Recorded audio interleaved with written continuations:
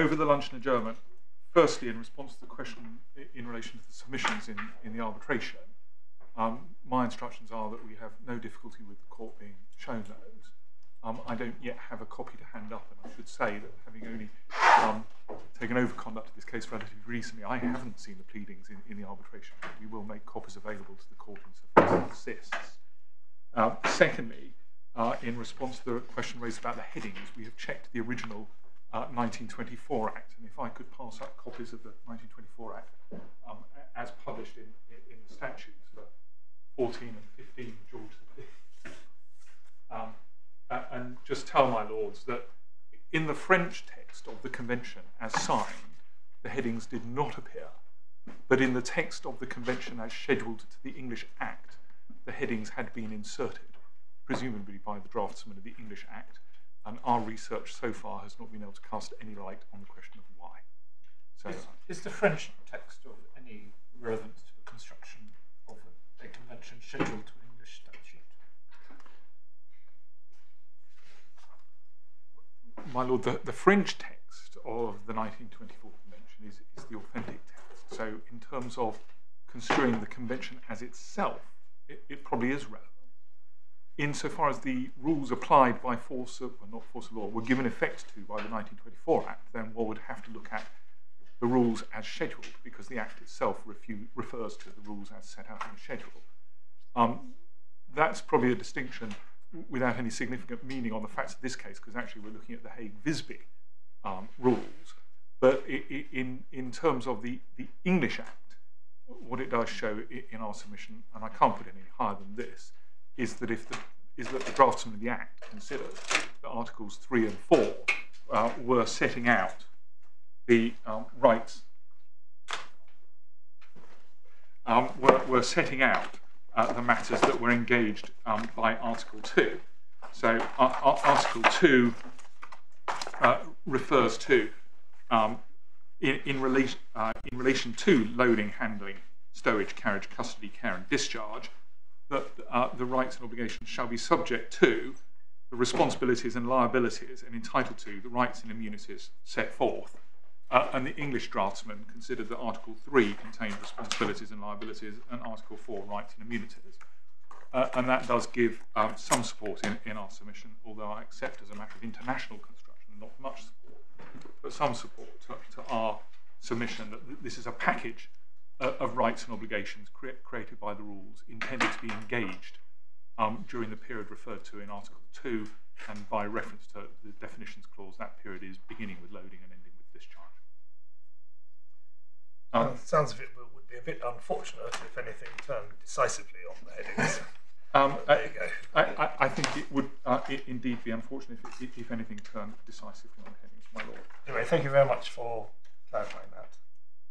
And um, all right, well, we'll be interested to see the um, submissions on the basis that um, whatever we're shown is shown to us by agreement of the parties. In, in, indeed. Yep. Uh, I hope we can put a package together, uh, perhaps overnight, and submit them. Very good, that's very helpful. Thank you. Can, can I ask you a related question? When construing the Hague-Visby rules, which is what we're doing, I think, uh, do we start from construing the Hague rules and then see what changes are made, or do we start with the Hague Visby rules as a fresh text? Or does it not make any difference? Uh, my, my, Lord, uh, uh, under the, the Vienna Convention, uh, in, insofar as you're construing the convention rather than the schedule to the English Act, uh, under the Vienna Convention, my, my, understanding is the court can look at what came before with, with a view to aiding its interpretation of, of the um, of the convention, and I, remind myself that the relevant provisions of the Vienna Convention are set out in the Lady M. We're, we're not construing an English Act, are we? Because the, the, the rules are incorporated by, by contract. The, by, by contract, indeed. Um, so we are construing the convention text. I, I, indeed. Um, and it's Article um, 31 of the Convention. This appears at page 744 of the report in the Lady M, uh, paragraph 35. The Vienna Convention is headed General Article 31 is headed General Rule of Interpretation. A treaty shall be interpreted in good faith in accordance with the ordinary meaning to be given to the terms of the treaty in their context and in the light and object of its purpose. So, the light and object of the purpose of the Hague Visby Rules is to amend the Hague Rules, whose purpose, in turn, was to give rise to the, the package of uh, rights and immunities that, that we've looked at. Uh, and then Article 32 uh, provides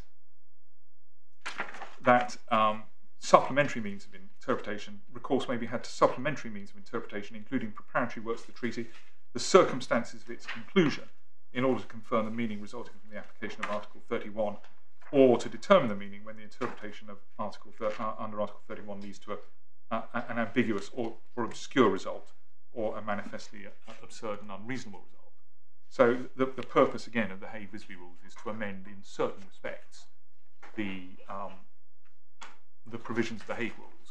Uh, in one sense, because the Vienna Convention doesn't apply retrospectively, I can't say that the Vienna Convention applies to the interpretation of the Hague rules, but it does apply uh, to the interpretation of the Hague Visby rules. I read somewhere um, that uh, somebody said there's no such thing as the Hague Visby rules. It's the Visby amendments to the, To the Hague, Hague rules. Where, It- where, where does that come from? I, I think that me? comes from Mr. Diamond's um, Is it? ar- right. article, but certainly, I, yes, I think strictly speaking, there is no such thing as the Hague rules, even though we all refer to them as Hague Visby rules, even though we, we all refer to them as such, uh, uh, and even though the words of incorporation in this contract refer to them as such. Yes. So I think we could take Hague Visby rules as a defined term for these purposes to mean the Hague rules as amended by the Visby Protocol. Yes, but that may what, that point may be relevant to um, my lord's question about what is it that we are construing, um, and your answer that we're construing The Hague something just rules. to amend the Hague rules. the Hague Rules as amended by the Visby Protocol, and in particular context, does the word whatsoever widen in any way the time bar in Article 3 Rule 6? You, you Thanks, said the Dave. Vienna. Sorry. You go on. You said the Vienna Convention was not retrospective. It, it appears from paragraph 33 of the Lady M. Although it was ratified by the United Kingdom in 1971, it didn't come into force until 1980, presumably because it had to wait until a number of signatory states reached a minimum. Um, does that mean it, it doesn't actually apply? I mean, Um, my, my Lord, it's certainly treated in the Lady M as, as relevant. It, it's treated in the, the Lady M as relevant, and it's treated in the, the Ocean Victory, the case cited here, as being relevant in relation to the 1976 Convention on Limitation. Um, I, I confess I had overlooked um, that, that, that timing point, but it potentially means that it shouldn't have been referred to in the, in the Lady M, but, but it was. And I don't think I can take the matter any further than that, my Lord. Thank you. Probably my fault. Uh, did my lord have a? a I was at first instance in the. I, I, I've aware of it. started that hair running. Uh, but I, I think my lord had another point before Lord Justice Nugee. No, I, well, I was going to make the, perhaps slightly different remark, but that uh, they're called the Hague Visby Rules, not the Visby Rules, because they are an amendment to the Hague Rules. Indeed. Um, uh, and so, my lord, before the adjournment, I had got uh, almost to the end of, of the English cases that we, we say uh, assist the court. And I'd like to deal very quickly, if I can, with the last of those cases, which is the decision of Mr. Justice Tomlinson in uh, Linea Naviera and Abnormal Load, which the court has at bundle, uh, the authorities bundle, tab 12, page 195. Um, and this case concerned an agreement between a, the plaintiff uh, barge owner and the defendant. They entered into a, an agreement for the carriage of two cranes uh, belonging to an Italian company in an agreement that incorporated the Hague Rules by way of a, a general clause paramount. So we're in Hague Rules territory. Um, during the voyage, one of the cranes collapsed and caused an ignition of propane gas, which damaged the barge, which is why the, the carrier in that case was the claimant. Uh, uh, and, and the party counterpart to the contract of carriage um, brought a counterclaim for damages uh, relating to, and I use the word relating to in the widest possible sense, uh, events that had occurred at loading. So th- there is a uh, counterclaim alleging uh, that the defendant suffered loss because the barge was unseaworthy when she presented for loading in Venezuela, meaning that repairs had to be carried out and that this delayed the start of loading and caused loss because expensive lifting equipment and personnel were idle while the repairs were carried out. Uh, the claimants submitted that the counterclaim was barred under Article 3, Rule 6, uh, and the defendants argued that there was no sufficient connection between the claim they were advancing for financial loss um, for, for, the uh, equipment and personnel kept idle and the goods, and that therefore Article 3, Rule 6 was not engaged. Uh, they argued that the claim could have arisen even if the goods had never been loaded, which has echoes of the point in the Otsonia. Uh, Mr. Justice Tomlinson held that the rules applied. Um, Article 3, Rule 6 applied if the claim related to the goods which were shipped or intended to be shipped. And we see that from the headnote um, at, at, paragraph 196. Um, held a claim fell within Article 3, Rule 6 if the loss in respect of which the claim was brought related to the goods which were either shipped or intended to be shipped. And then just turn, turning to the decision itself. Um, first of all, that general description in the headnote um, undermines, uh, in our submission, any suggestion that the decision is inconsistent with our interpretation of the rules, um, it, it, does not support the contention that the time bar applies um, pre-loading. In fact, in our submission, the decision when we look at the detail shows that our approach is correct, um, and that's for a number of reasons. Firstly, we see from the judge's analysis um, at page 198, um, paragraph 10, that it's um, important that the alleged wrongful act was the failure to make uh, the vessel seaworthy, which is a, a, breach of the Article 3, Rule 1 obligation. So it's accepted that if there, there, existed a contractual relationship between the claimants and the defendants, pursuant to which the defendants can pursue the allegation, uh, indeed the breach alleged is one of the obligations contained, is of the obligation contained in Article 3, Rule 1, which provides the carrier shall be bound before and at the beginning of the voyage to exercise due diligence to make the vessel seaworthy insofar as that goes, that engages the point my Lord Lord Justice Nugee mentioned to me uh, this morning, but that may well predate um, the, loading. But the decision goes on to look at the significance of the fact that the, the, the connection between the loading, sorry, the breach and the loading obligation means that the breach is related to uh, performance of the loading obligation. So if we look at paragraph 17 um, of the judgment, um, or actually, in this case, loading had started. And that was going to be my third point, my lord. I, irrespective of whether loading had started, the breach of the seaworthiness obligation related to loading to mean that the claim was engaged. But on the facts of this case, loading had started. So, my lord, that, that, that's the, the second um, and third point I was going to come on to make. So, firstly, at paragraph 70, Mr. Justice Tomlinson concluded that there was um, a, a sufficient relationship so that's looking at the words in relation to in Article 2. Uh, I do not find the question entirely easy to resolve. In the end, I've concluded that the claim does have a sufficiently close association with the cargo intended to be in fact carried to render it subject to Article 3, Rule 6. Critical feature of the claim was, uh, of the claim which has in the end proved to me to be decisive, is that it relates to, as the defendants put it, expensive lifting equipment and personnel which were present, as I infer, especially for the specialist loading of the cargo, um, and essentially, we're saying that the claim is arises because the cost of loading was increased as a result of the breach. So we've got breach of an obligation that relates to loading during the period of loading and affects the cost of loading.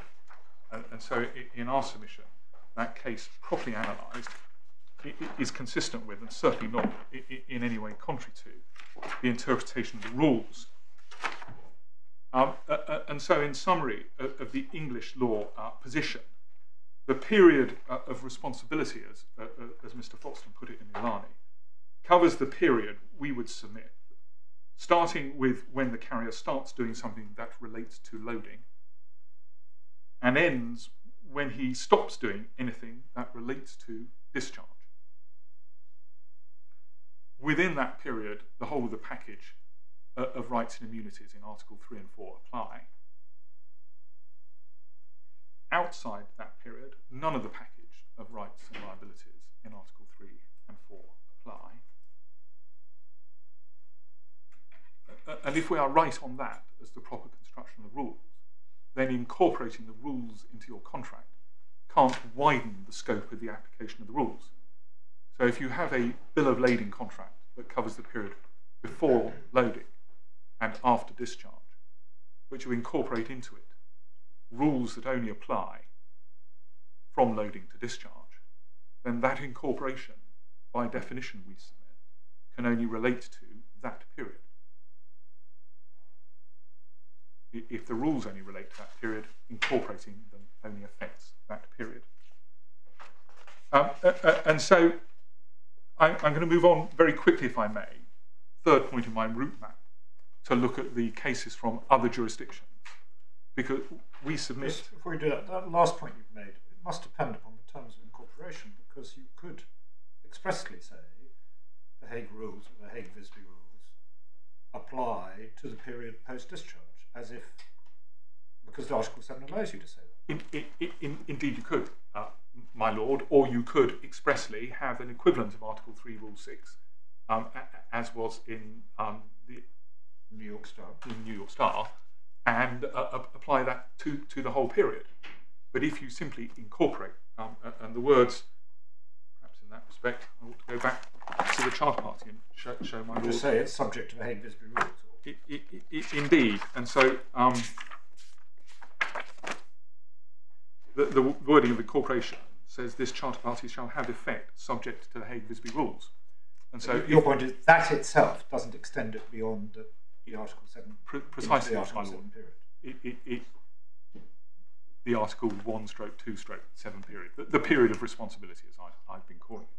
So if you say subject to, it means subject to the rules as they stand. And that wording of incorporation in clause 13.10 of the Charter Party, which is the clause which brings the rules into operation for the purposes of, of the Bill of Lading, does not evidence any intention on the part of the parties that those rules that in and of themselves don't apply outside the period of responsibility will apply outside that period to this contract. You said the period of responsibility was the phrase used by Mr. Foxton. I think Mr. Justice Wright used it right back in the 1920s. I, I think, I, I'm sure my lord is right. Um, I, I wondered if it, if it acquired any sort of imprimatur from any higher quarters uh, or anything. M- My lord, only uh, insofar as um, Lord Justice Longmore used the words, I think, accepted doctrine in, in the MSC um, Amsterdam to, to refer to the same concept. Is, is Mr. Justice Wright's case the same Gosse Millerd that went higher up, or is it a It, different case? it, no, the same one that went higher up, but nothing contrary. Again, on different points. Uh, on different points, my lord. So no, nothing contrary to, to, to the dicta in the, the first instance. And, uh, and hence, again, referred to by Lord Justice doctrine. Uh, and so, my lord, the, the authorities from other jurisdictions, just to, to be quick, as we say, um, and the, the judge said indeed at paragraph 45 of his judgment, uh, these are important because it's settled law when considering an international convention such as the Hague or Hague-Visby rules that there should be a uniform interpretation by courts in different jurisdictions, particularly if there's shown to be a consensus amongst national courts. Uh, and we submit that there is such a consensus. And I'm just going to take my lords very briefly um, to the cases um, with a short introduction. And the short introduction is this. I, think my learned friends accept that the preponderance of the cases in other jurisdictions supports our construction. Uh, what they say is, firstly, they're mainly Hague Rules cases, and I accept that. Uh, but I say, as my lords know, that the only difference of materiality is whatsoever, and that simply disposes of issue one in the Sonia. Uh, secondly, my learned friends say in their skeleton argument, well, all, of these decisions um, found themselves, at least in part, on the assumption that the rules only apply, that the time bar in the rules only apply to breaches of the rules. So the point uh, that, that Mr. Foxton decided to the contrary and that Alhani, and the point which we don't have permission to appeal and therefore I, I I can't advance before, before my lords. So it, it is correct, if I say this at the outset, then the court will see where I'm going. It is correct that in a number of the decisions I'm going to refer my lords to, uh, the various judges um, who came to a conclusion that we say support our interpretation, some of them did proceed on the basis that the Article 3, Rule 6 time bar was only engaged in relation to breach of an Article 3 obligation. Um, as a matter of English law, that assumption is incorrect. But our submission is essentially that all of the cases adopted other reasoning as well, which is still um, a, a proper grounding for finding that there is a consensus. And essentially, I'm going to be making that, that same point in, in relation to each of the cases I, I take my lords to. Uh, and the first, uh, uh, tab three of the bundle of authorities, is uh, the Malaysian Federal Court in Rambler Cycle Co and P&O Steam uh, Navigation. Um, and this is a, a case that factually is precisely on point because there was misdelivery after discharge from the vessel. Um, and the, the defendant in, in this case claimed the benefit of Article 3, Rule 6, and at first instance, the judge concluded that Article 3, Rule 6 was an exception clause, and that because the defendants were in breach um, of, of a fundamental duty, they were not entitled to rely on it. That, that point uh, was overturned in, in, the Court of Appeal. Uh, but in the Court of Appeal, uh, Sir James Thomson, the Lord President, analysed the rules um, at pages 44 to 45, uh, uh, and I don't need to take my lords through that other, other than to, to refer to it, um, and reached the conclusion that I accept is not open to me in this case. That is to say, the conclusion that the rules don't, time bar doesn't apply uh, where the breaches of uh, an obligation not arising under the rules. Um, uh, but he also went on at, page 44 um, to deal with the point that does arise uh, in uh, our case. Um, and uh, so, starting at the top of page 47 of the report, page 44 of the bundle, approach clearly as a matter of construction, all this leads to the conclusion the Act has no relation to anything that happens to the goods after they are discharged from the ship in which they have been carried. So there is a clear finding that as a matter of construction the rules, they don't apply after uh, the cargo has been discharged. Uh, uh, and uh, the Lord President went on to refer to the analysis in Pyrene and Scindia, which I, have taken my lords to, and to refer to the analysis in Gosse Millerd that I took my lords to, uh, uh, and is therefore in our submission adopting, as well as the point that's not open to me, adopting the point that I do make. and if this analysis is correct, this is strong support for our interpretation of the rules. Uh, Lord, uh, the, the, Lord President did not, um, as part of his analysis, however, refer to Article 2, which, as the Court is aware, we put um, some weight on. Uh, uh Chief Justice Wee, however, did um, refer to Article 2, which we see from page 46.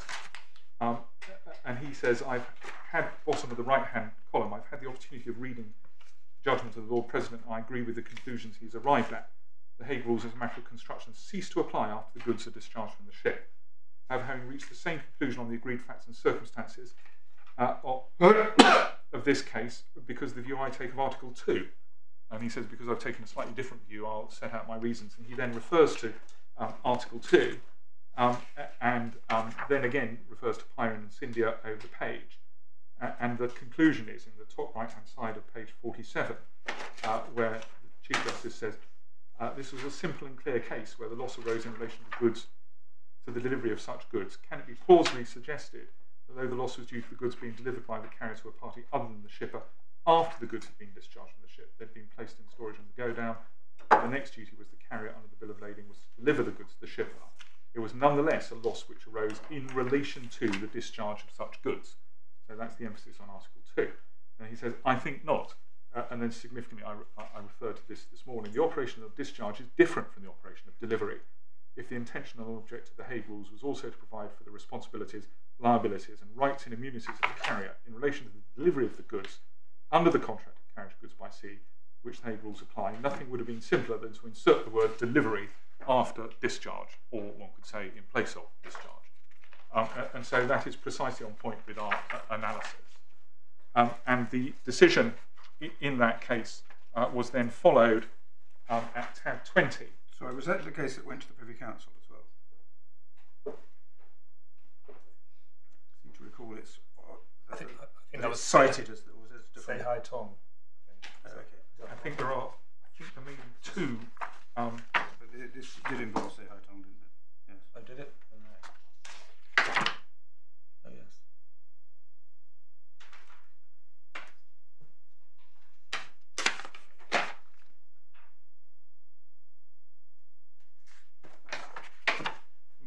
We can find out. my lord, I, I, I, can check, or more correctly, Ms. Morton will no doubt check while I'm on my feet. But um, aside from that point, can Can I then go to paragraph, uh, sorry, to tab 20 of the authorities bundle, where we see a subsequent decision, 2018, of the Court of Appeal um, in, in Malaysia, in a case called Min Metals and Nakoda Logistics. Uh, and again, this is a Hague Rules case. Uh, the plaintiff's case was Article 3, Rule 6 did not um, apply to non-delivery of the cargo. So that's the point not open to me because of the Alhani uh, uh and indeed Captain Gregos. But it is also a point that concerned whether the rules applied after discharge. And in, in that respect, um,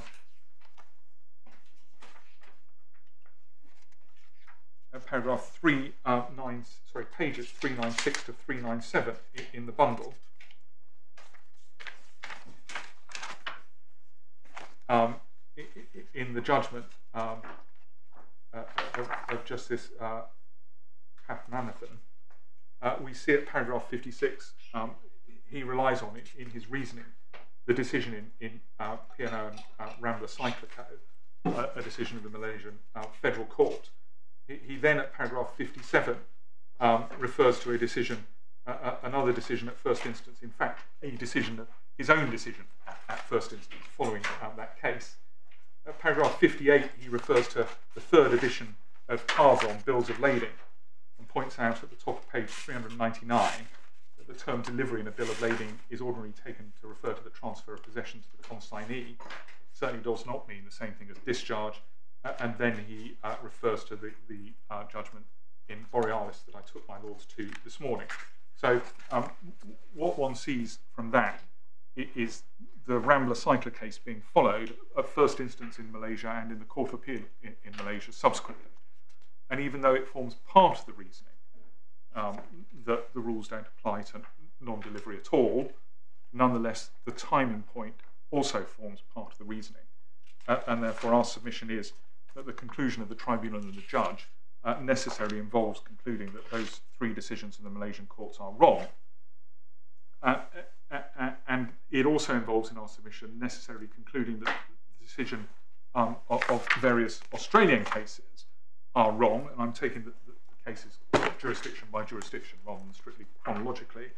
And that the first is at tab 7, which is Tays Brothers and A&L cargo operations.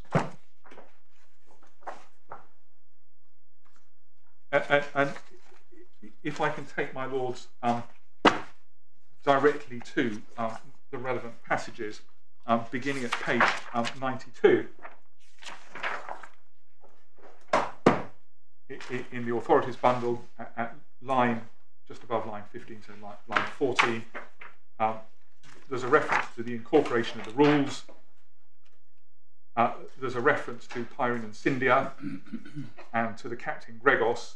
And then um, just by the punch hole opposite li line about uh, 23, the time bar contained in Article 3, Rule 6 only applies to discharge the carrier from liability to which it becomes liable by virtue of the operation of the rules contained in, Article 3, Rule 6 in uh, uh, sorry, in Article 3 in respect of the risks contained in Article 2.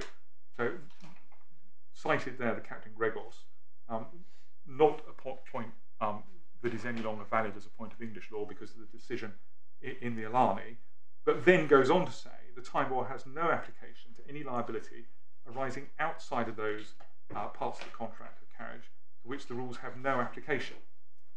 Um, and in our submission, that must, and in the context of this case, does mean that they end with the period of um, discharge from the ship.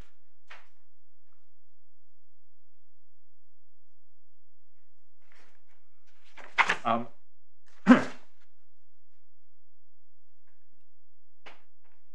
indeed, if one goes back, I should have started slightly earlier, where the rules, um, this is at line 13, where the rules contained in the schedule to the Commonwealth Act incorporated the contract of carriage, those rules only relate to so much the sea carriage which starts with the operation of loading and ends with the discharge of goods from the ship.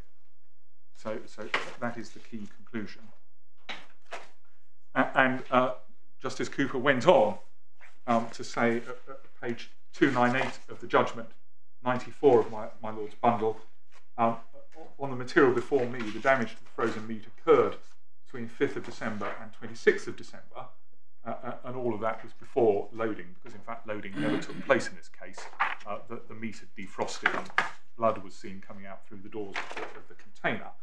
The cargo was not loaded on board the vessel because blood was seen seeping through the seals. Uh, uh and, and, then uh, Justice Cooper says, even taking the most liberal view of the term loaded on, where it appears in the definition of carriage of goods in uh, paragraph E of Article 1 to the schedule, the process of loading simply had not commenced. See Pyrene and Scindia. Further, an analysis of the statement of claim shows that the liability contended for is a liability which arose at a time anterior to the period covered by the operation of the rules. Uh, and that's anterior to any loading operation. So while the container was in the custody of the carrier, but not in any way related to loading. To the extent that this judgment relies on the Captain Gregos, is that to the first instance decision? It looks as if it might be.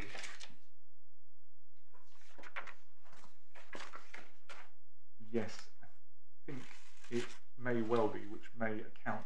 Yes, um, yes, yes.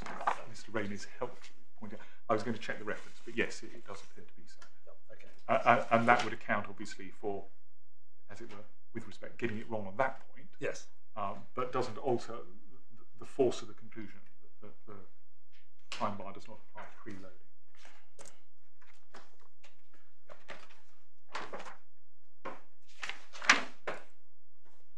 Um, my lords, the, the next um, Australian decision is, is, in tab 10, Kamil Export.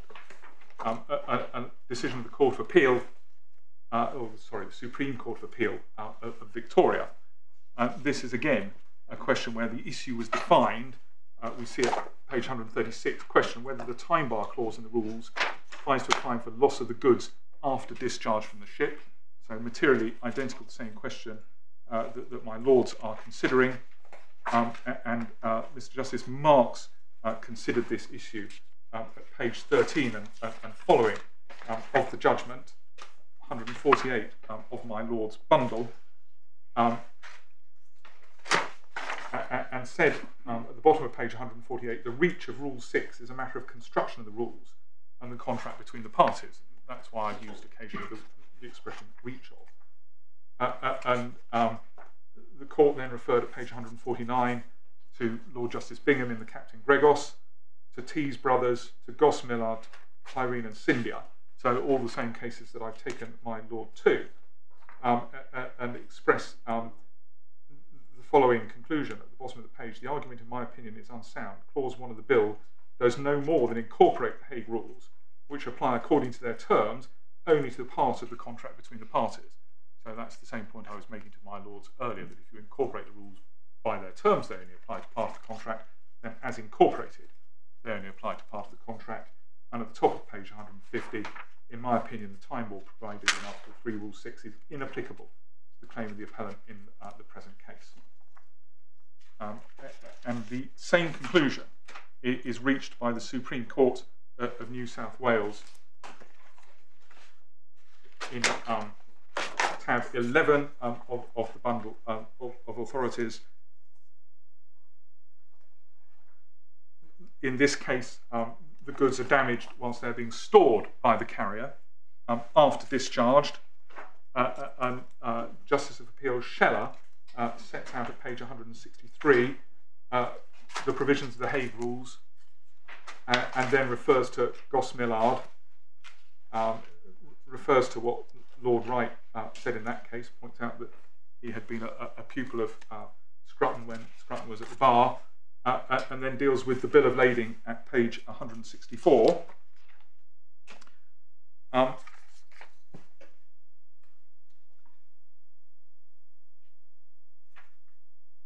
and, and, picking up at, at, the bottom of page 164, goods in the custody of carrier before loading and after discharge, whether being forwarded to or from the ship, or whether awaiting shipment landed ashore or put into hulk or craft belonging to the carrier, uh, are in such custody, custody the sole risk of the merchant. So that's a, a, a clause limiting the, the period of, of responsibility. It then points out this does not relieve the carrier from liability for loss or damage to the goods arising from negligence or fault in the duties and obligations provided in Article 3. So the, the court is saying that that limitation doesn't apply if you're in breach of your Article 3 obligations. Um, and then put another way, the contract of carriage in Article 2 applies only insofar as the bill of lading relates to the carriage of goods by sea. Therefore, the second sentence of Clause 3 remains effective and applies after the goods have been discharged. So you've got a four square decision here that is looking at a, a, a clause that purports to restrict liability and says that insofar as it's restricting liability in relation to the period covered by the rules, not valid, but insofar as it's restricting liability to the period not covered by the rules, um, that's valid. Uh, uh, and the conclusion on, on the issue um, that um, was before that case um, was uh, set out at page 167. Uh, with the greatest respect, um, picking up at the bottom of the page, I disagree with His Honour's conclusion. In my operation, my opinion, the last operation for which the carrier was responsible by force of the Rules was the discharge of the goods from the ship. That operation was complete either when the goods crossed the ship's rails or when they were delivered from the ship's tackle, if the ship's tackle was used, from that moment, any operations undertaken were not subject to the Hague Rules, and the obligations the carrier in respect to them must be found elsewhere. Um, uh, and then at paragraph 168, in my opinion, the responsibilities placed on the carrier by application of the contract um, um, to the contract of the Hague Rules cease in circumstances of this case when the goods cross the ship's rails, uh, finding there when discharge ends. And then the parties have agreed subsequent to discharge from the ship, goods in the custody and care of the carrier should be at, at his sole, um, sole risk and responsibility of the merchant. Uh, uh and then at page 171, uh, there's a reference to, to the Tees brothers uh, decision that I've already taken the court to. Uh, and at 173, um, the, the, conclusion is for these reasons, I, I agree with uh, Justice of Appeal Cole that the trial judge was right reject the contentions of the applicant based on the defence grounded on the time bar provisions. So uh, again, the, the, time bar not applying to the operation after discharge. Um, the, the, case Malone and Friend particularly relies on is um, the next one in, in Australia. Um, the next one is actually preceding that at tab 8. Um, the Zhi Jiang Kou, uh, uh, uh, this is the judgment in which um, President Kirby um, gave, I think Malone and Friend calls it a dissenting judgment. I'm not quite sure it, it, that's the right description. Um, th there was a contractual time bar in that case, and the majority of the Court of Appeal concluded that the nine month contractual time bar was operative. Uh, and President Kirby concluded that it didn't matter whether it was the contractual time bar of nine months or the Hague Rules time bar of 10, uh, 12 months. Either way, the claim was time barred. I, am not at this stage um, going to go through um, the reasoning of, of, the President because, because our submission is simply this. Insofar as he considered that the Hague Rules time bar applied uh, post discharge, he was, for all the reasons I've given, wrong. But in the context of my present submission, insofar as the question arises whether there is a consensus under international law, his is the only voice um, contrary to the interpretation that we invite the court put on the Hague Rules. And, and his one, whether one calls it dissent or obiter judgment, uh, doesn't affect the consensus that appears from all of the other cases.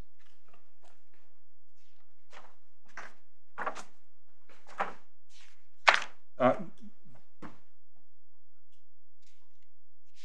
next, um, decisions that I would. But the, the international consensus on which you rely is confined to Malaysia and Australia. Um, and Hong uh, Kong. And Hong Kong, come to yes.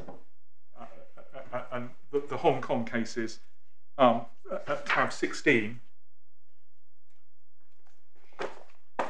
a, a decision in the Court of Appeal in Hong Kong in Chong Yung Fai, China International Freight. Um, and again, just taking this as, as quickly as I can, at paragraph 2, um, uh, Justice of Appeal Chung referred to the, the passage in the Cat, Captain Gregos uh, on, on, appeal that I've already taken the court to. Um, and then um, the Court of Appeal went, went on to consider um, in the judgment of Justice Appeal uh, beginning at paragraph 4, the question of whether the time bar applied to events um, after discharge. Uh, uh, and this is a case uh, that involved carriage to Hamburg and then road carriage o- on to Moscow. Um, and the Court of Appeal concluded at paragraph 30 of, of, its judgment. Uh, at page 278, in my view, the Hague-Visby rules, so we are Hague-Visby in this case, did not apply to the present claim because where a contract of carriage involves both sea and inland transport, the Hague-Visby rules apply only to that part of the contract of carriage that relates to sea transport, as shown clearly in the passages in the articles underlined in paragraph 26 of this judgment, uh, and paragraph 26 set out the, the provisions of articles 1, 2 and 3 that I've previously taken the court to. Now, I, I accept that in paragraph 30 of the judgment there's a reference to other transport apart from sea transport, uh, but the, the logic of that approach applies to other activity apart from sea transport uh, and would therefore apply to storage after discharge just as much as it applied to post discharge transport by some other means.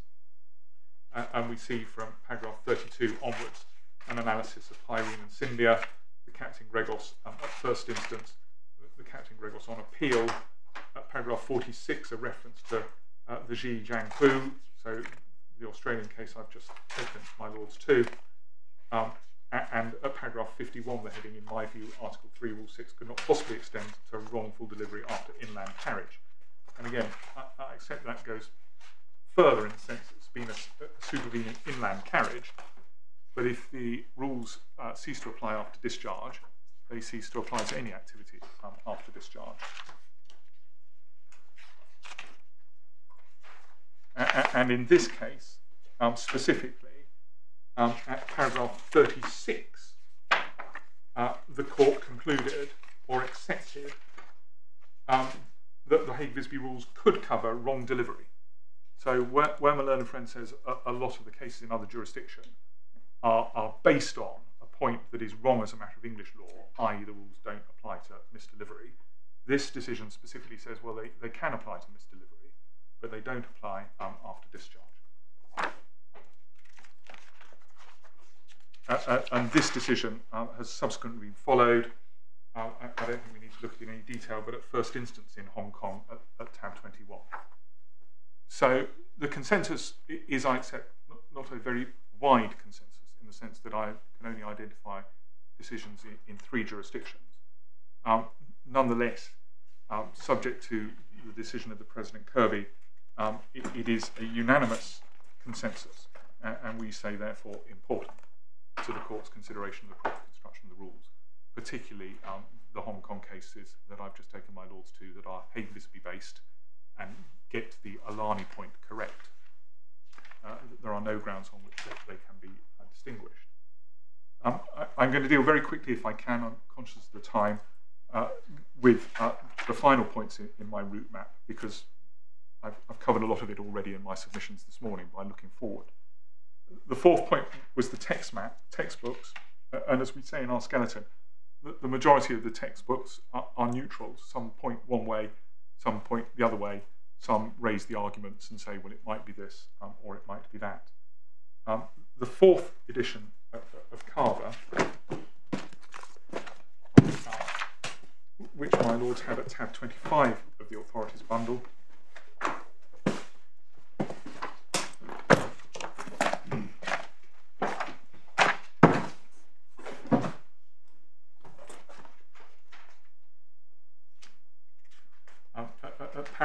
9-130 does suggest that the Hague rules, um, bottom of page 484 of the bundle, where the Hague rules, as opposed Hague Visby rules, as opposed to Hague rules apply, the time bar would seem to be operative in any case because of the extreme breadth of its words.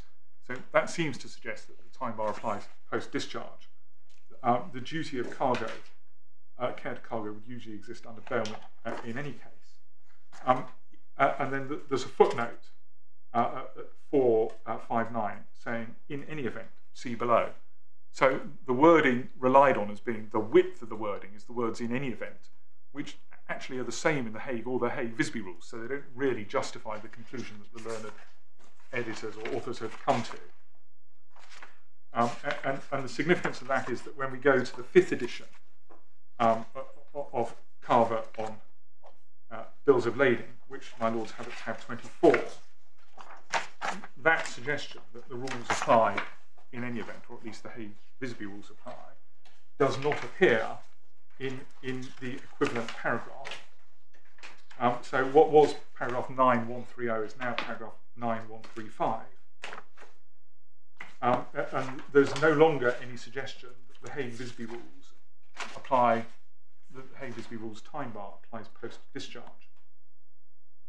Um, what we do see at the bottom of the page is a sentence beginning, but until such occurrence, it is arguable that under English law the carrier shall hold the goods um, not only under the contract of carriage but also under the rules, uh, unless again it is, uh, as is perfectly permissible, he alters his responsibility uh, for this stage uh, by terms or terms in the contract of carriage or by special agreement. Um, as has already been stated, the main practical consequence of the extension or continuation of the contract of carriage is the application of package or unit limitation, the fire exception, and the time bar, and the prohibition reducing to reducing liability. So the editors there see, seem to be forming the view that the prohibition under Article 3, Rule 8 will apply. Um, and, and then that's where the, the missing words would have been. Uh, and then we carry on the duty of care of cargo uh, would usually exist under bailment rules in any case. It is submitted, therefore, as a matter of English law of contract. It may well be appropriate to state the position as being that the rules may apply as implied terms after receipt of the goods, but before loading and after discharge, uh, but during the period before delivery or up to the time or operation of any separate warehousing agreement, except insofar as this result has been excluded or modified. So that's the paragraph that supports the so-called Carver implied term. Uh, uh and in our submission, it, it is significant that one would not need to imply a term to that effect if the rules themselves provided for, for that effect. And that therefore uh, this passage in Carver broadly, without the wording that was in, in, in the fourth edition, supports um, our interpretation of the rules. Well, doesn't paragraph 9, 126 deal with the position um, which we're concerned with, and they, um, the editors recognise the possibility that the time bar in Hague Visby may apply after discharge. It's all, a bit tentative, but that's where they that's where they make that point, isn't it? My, my, my lord, yes. So in one sense, this falls in the category of the books that I said refer to the, the, the possibility without really coming out to a, a, firm conclusion. But the period may be referred to as the Hague's period of responsibility, we see at the top of page um, 478. Yes. Um, uh, uh, uh, and then um, as my Lord says. Um,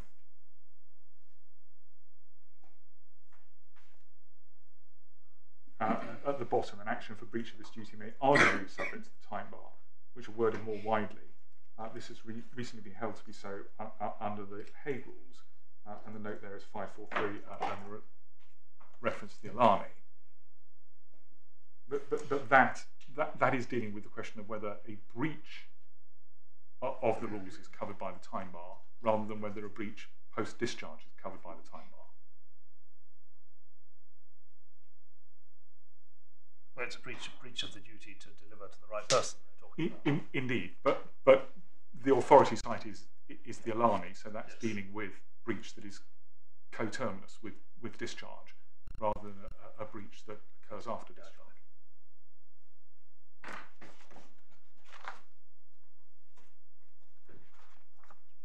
Um,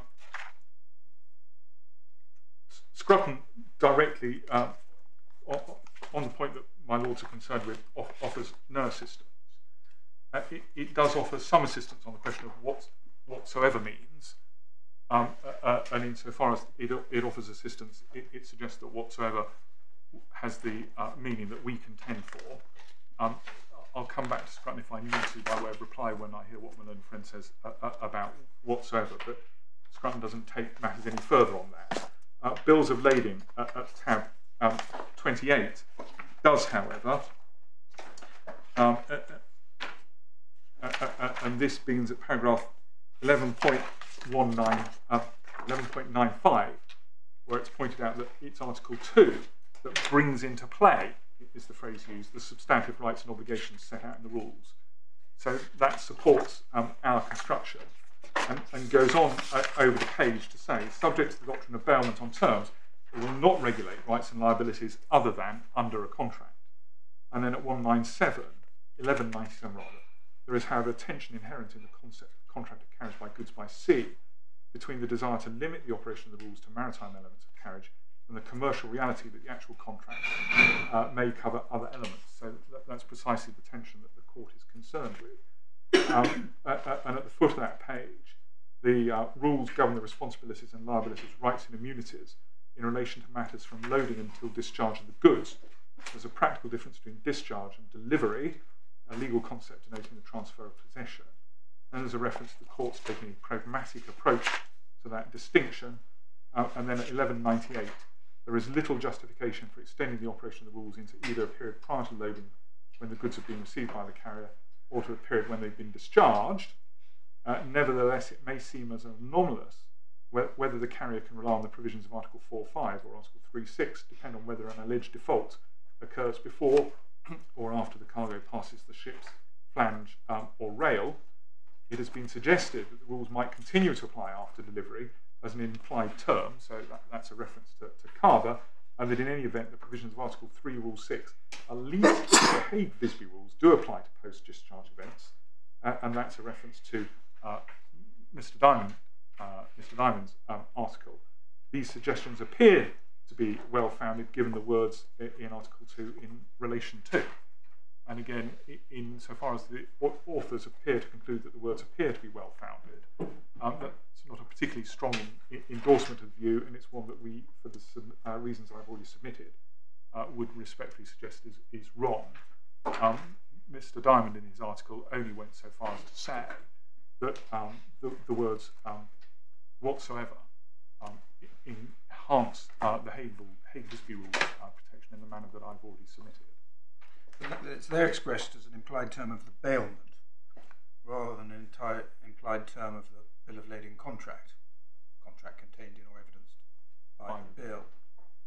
Uh, and it may be easier, mayn't it, to say there's nothing inconsistent with the temporal reach of the Hague rules as contractual terms in saying that when the contract has come to an end but the ship owner is still in possession as bailee, it's implicit that the bailment shall be on those terms.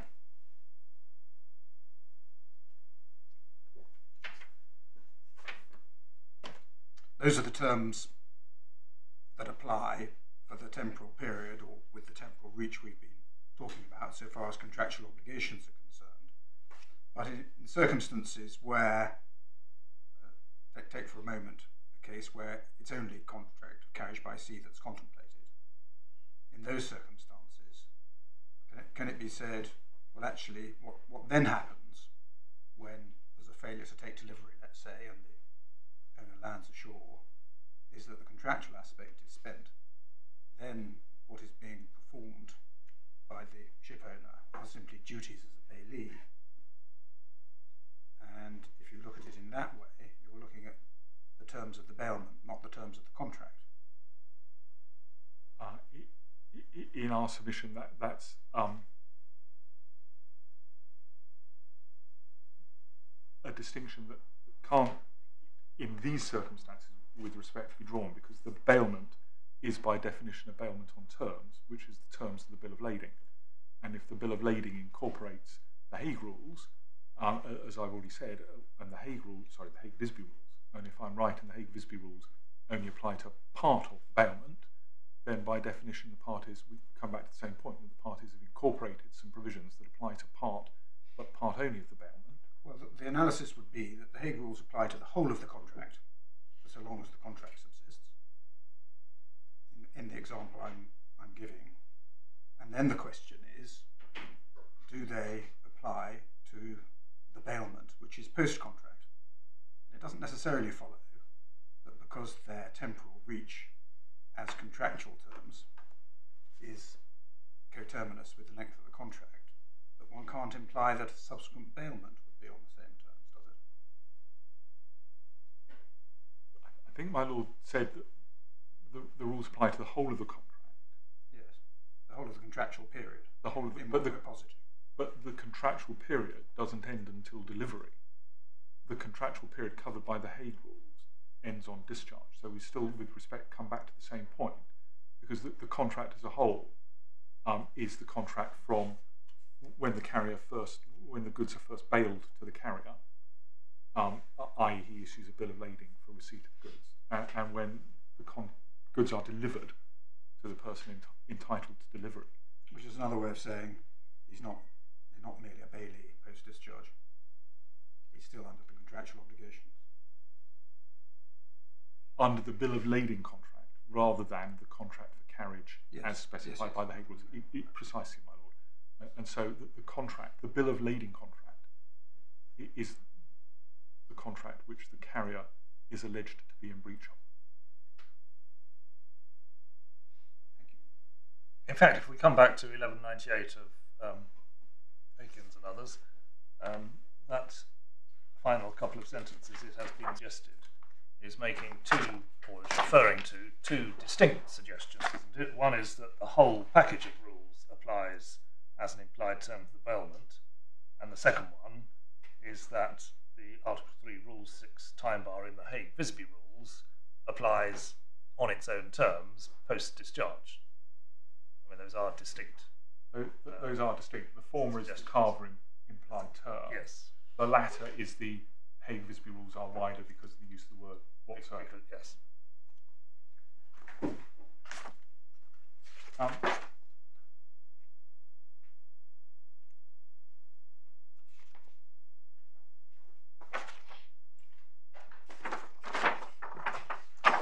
uh, paragraph 594 of, of Carver uh, on charter page 496, i- is um, slightly more helpful in, in the other direction, but again without any great analysis in respect of loss and damage. Um, so, is the wording being considered? This wording appears in various places throughout the rules, including the limitation provision in 4.5.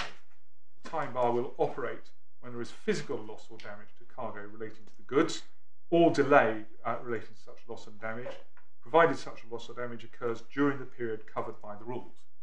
So, Carver on Charter Parties appears to accept that the loss and damage needs to occur during the period covered by the rules, citing at 888 uh, Chong Yu Fai um, in the Hong Kong Court of Appeal.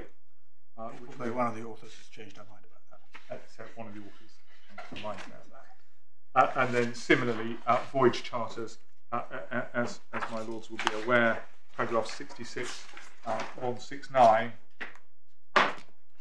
uh, says in terms of 490, even when delivery is effected at the port of discharge, the rule does not deal with the period of time between discharge from the ship, uh, uh, discharge from the ship, when the absence of, in the absence of contrary agreement, the carrier's obligations as governed by the Hague rules come to an end, and the time which may very well be later when the goods are finally delivered.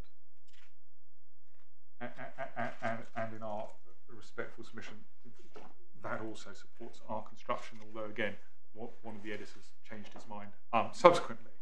So, um, Or hedged is better. or, or uh, uh, uh, and so uh, I said um, this morning um, that I'd come to the um, articles as well, including Mr. Davenport and, and Mr. Diamond. Uh, having said that and, thought about it over the, adjournment, I, I've made our submission that the, the words whatsoever simply extend um, the provision of the time bar to cover the, the first point in the Ot Sonja. Um, I, I don't think I can make that any better by going to the articles th- themselves, and I'll, I'll deal that by way of reply if I can. Okay, well, they're there for us to read? Uh, mine is yes. Uh, and therefore, um, I just want to touch briefly on the Carver implied term and then very briefly on practicality. Uh, as I've said, the, the so called Carver implied term is a reference to the suggestion of paragraph 935 of the fifth edition, which we've already looked at. Um, and as Lord Justice Longmore said in the MSC Amsterdam, it may be that it's appropriate where there's no uh, agreement to the contrary to, to imply a term. Uh, but in our re- respectful submission, there are two problems with this. Uh, firstly, it, it's necessary to consider whether or not the parties have made an agreement in, in relation to the period after discharge, and that's the clause 2c point that I'll come back to in just a moment. Secondly, whether it's appropriate to imply a term in any event. Uh, uh, and our submission on that is brief, but nonetheless, uh, we, we would suggest um, compelling. If the parties have chosen to make their contract um, subject to the Hague Visby rules, as these parties have, and if we're right on the construction of the Hague-Visby rules, as we invite the court to conclude that we are, the parties have chosen to contract on terms that do not impose a time bar on the post-discharge period. And if the parties have so chosen, and so chosen by reference to an international convention that has the meaning we submit it does, it would not be appropriate to imply a term to the contrary, i.e., that imposes a time bar that the parties have not contracted for. There's no necessity to do so. Uh, uh, and whichever test for implying terms, um, whether as a matter of law or as a matter of fact, is applied, um, it, it's um, not appropriate because um, it's not a necessary incident or definable category uh, of a definable category of contractual relationship. That's a quote from Chitty that's at paragraph 36 of our skeleton argument. It's not in the bundle because it's not in dispute. That is the consideration.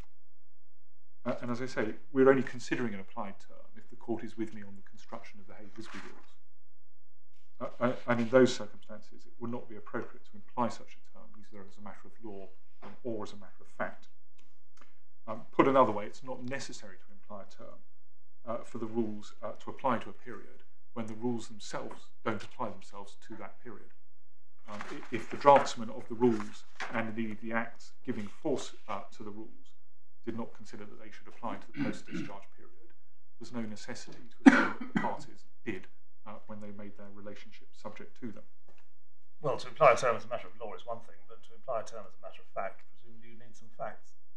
Um, one would, and the facts in this case are the parties have agreed a contract which is subject to Hague Visby rules, which, if we're right as a matter of construction, um, do not uh, uh, apply the time bar to the post um, discharge phase. Uh, uh, and that is the fact. And in the light of that fact, is it appropriate to imply a term? And we, we suggest that the answer is no.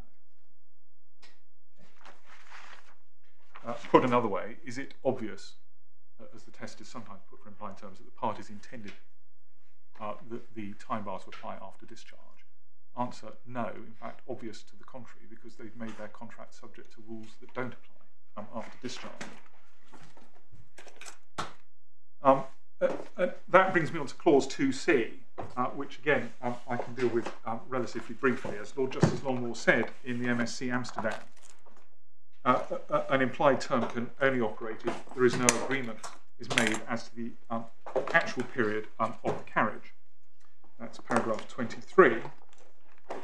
Uh, and in our submission, clause 2c, which the court has at page 162 of the bundle, clearly applies to the period after discharge it, it says so in terms. The carrier shall in no case be responsible for loss or damage to the cargo, howsoever arising prior to loading into and after discharge from the vessel. So clause 2c is intended to govern the relationship between the parties after discharge and is intended to be a, a complete exclusion of liability. Clause uh, 2c does not include a time bar, uh, but that does not alter the fact that it is a clause of the contract expressly dealing with the period after discharge. If the parties have turned their mind to that period and included a term expressly covering that period, firstly, that is a very strong indication against implying any term. Because if the parties had intended a time bar to apply, th there would have been a time bar as well as an exclusion of liability. And we've seen in, in the MSC Amsterdam a case where there is a time bar included within the, sorry, the New York Star, a case where there is a time bar included within the, the, the party's contract. Just, just so I understand the, um, the scope of what we're supposed to be deciding, we have to decide whether, light of clause 2c, it is uh, possible or impossible to imply a term about the time bar applying post discharge, but we are not concerned with the question whether um, if there is no time bar, that clause does or doesn't give a defence to the misdelivery claim. Is that, is that right? You are not concerned with the second question, whether it, it gives a defence. Um, what you are concerned with is the, the, question my lord posed in relation to the implied term, but also the separate question of whether, insofar as the Hague rule, Hague Visby rules do apply this post discharge, this agreement disapplies. So, so Clause 2C is relevant in two respects. Firstly, to the court's consideration of whether to imply a term, and that's the, the, the point I've mentioned already. But secondly, the second ground of appeal is whether this clause in the standard form congen bill of lading disapplies the Hague uh, stroke Hague, well, Hague Visby. As, um, as, an, as an agreement under Article 7. I, I, indeed. And, and, and that's the, the, the simple point. By uh, agreeing to a, a clause that uh, regulates the parties' relations post discharge but does not include a time bar, uh, that operates under Article 7 so as to disapply the time bar. It's permitted under Article 7. It's not contrary to Article 3, Rule 8, as, as the tribunal concluded it would be, because it's expressly permitted by, by Article 7.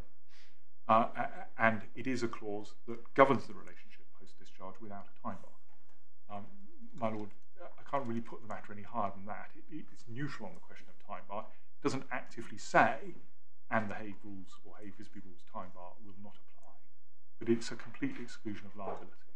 Uh, and in that respect, inconsistent with the need for a time bar, and therefore we submit as a matter of construction. It, it does um, support the conclusion that the parties have disapplied the time bar insofar as it would otherwise apply by having a separate agreement. Can I just explore how that works? Um, I suppose you're right on this appeal. Uh, the result, as you say, is that clause 2c is unaffected by Article 3a, and the ship owners can rely on it as a, as a defence to your claim.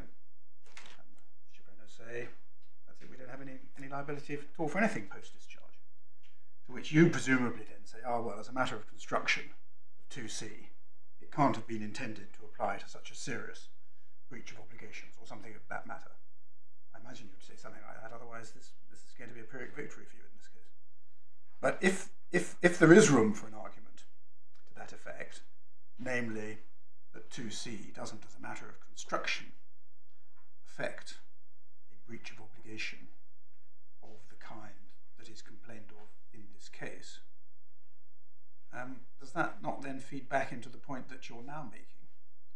That there's nothing inconsistent in it with um, the uh, operation of the Hague Visby rules post contract, My lord, I, I see the, discharge.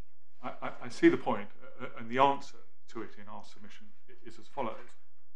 The carrier has contracted for what, what it no doubt believes and hopes is going to be a complete exclusion of liability. He may have made a bad bargain because that complete exclusion of liability may not, in fact, assist him. But if that's the bargain that the parties have made, um, that is a bargain that is inconsistent in our submission with the time bar uh, persisting. Well, it either is or it isn't a complete exclusion of liability. Uh, it doesn't really matter whether he thinks it is or not. Um, and if you're going to have a defence in the, if you're going to avoid this as an absolute defence to the claim, you have to say it isn't a complete exclusion of liability. Indeed, it's not an exclusion li- of liability against the very claim that you're bringing. My lord, uh, uh, as I've said, I, can, I, can I have one moment just to check that I'm not doing my clients a disservice? But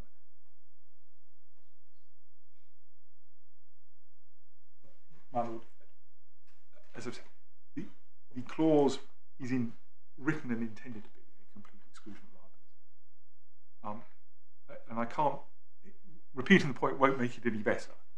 Um, my lord,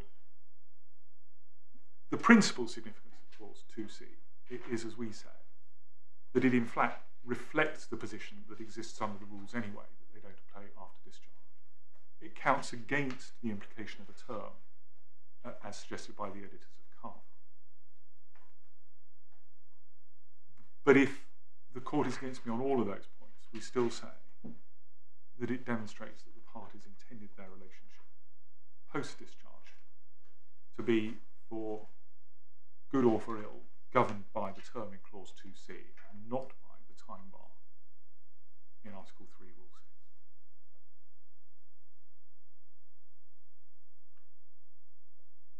Is is the way of what you really want to say that that Article Seven allows you to have a special regime post discharge. This was the special regime they chose, and it doesn't contain a time bar. it that, that's precisely the point, my lord. And it may, may or may not work. The carrier may or may not have made a good bargain, but that is the regime that the parties have, have opted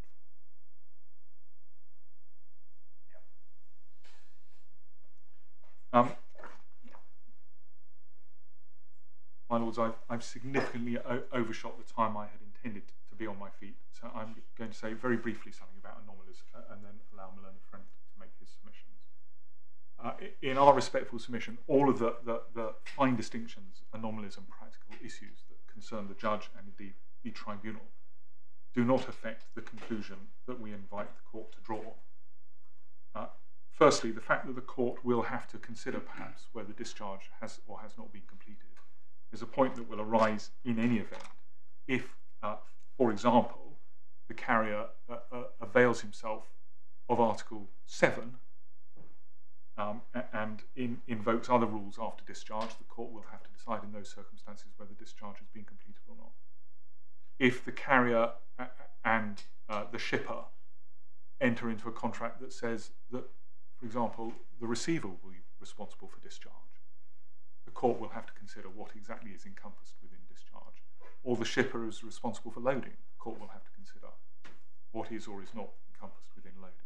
So these practical issues are inherent in the scheme in any event and not a reason for uh, uh, not upholding the submissions that we have made as the interpretation of the rules.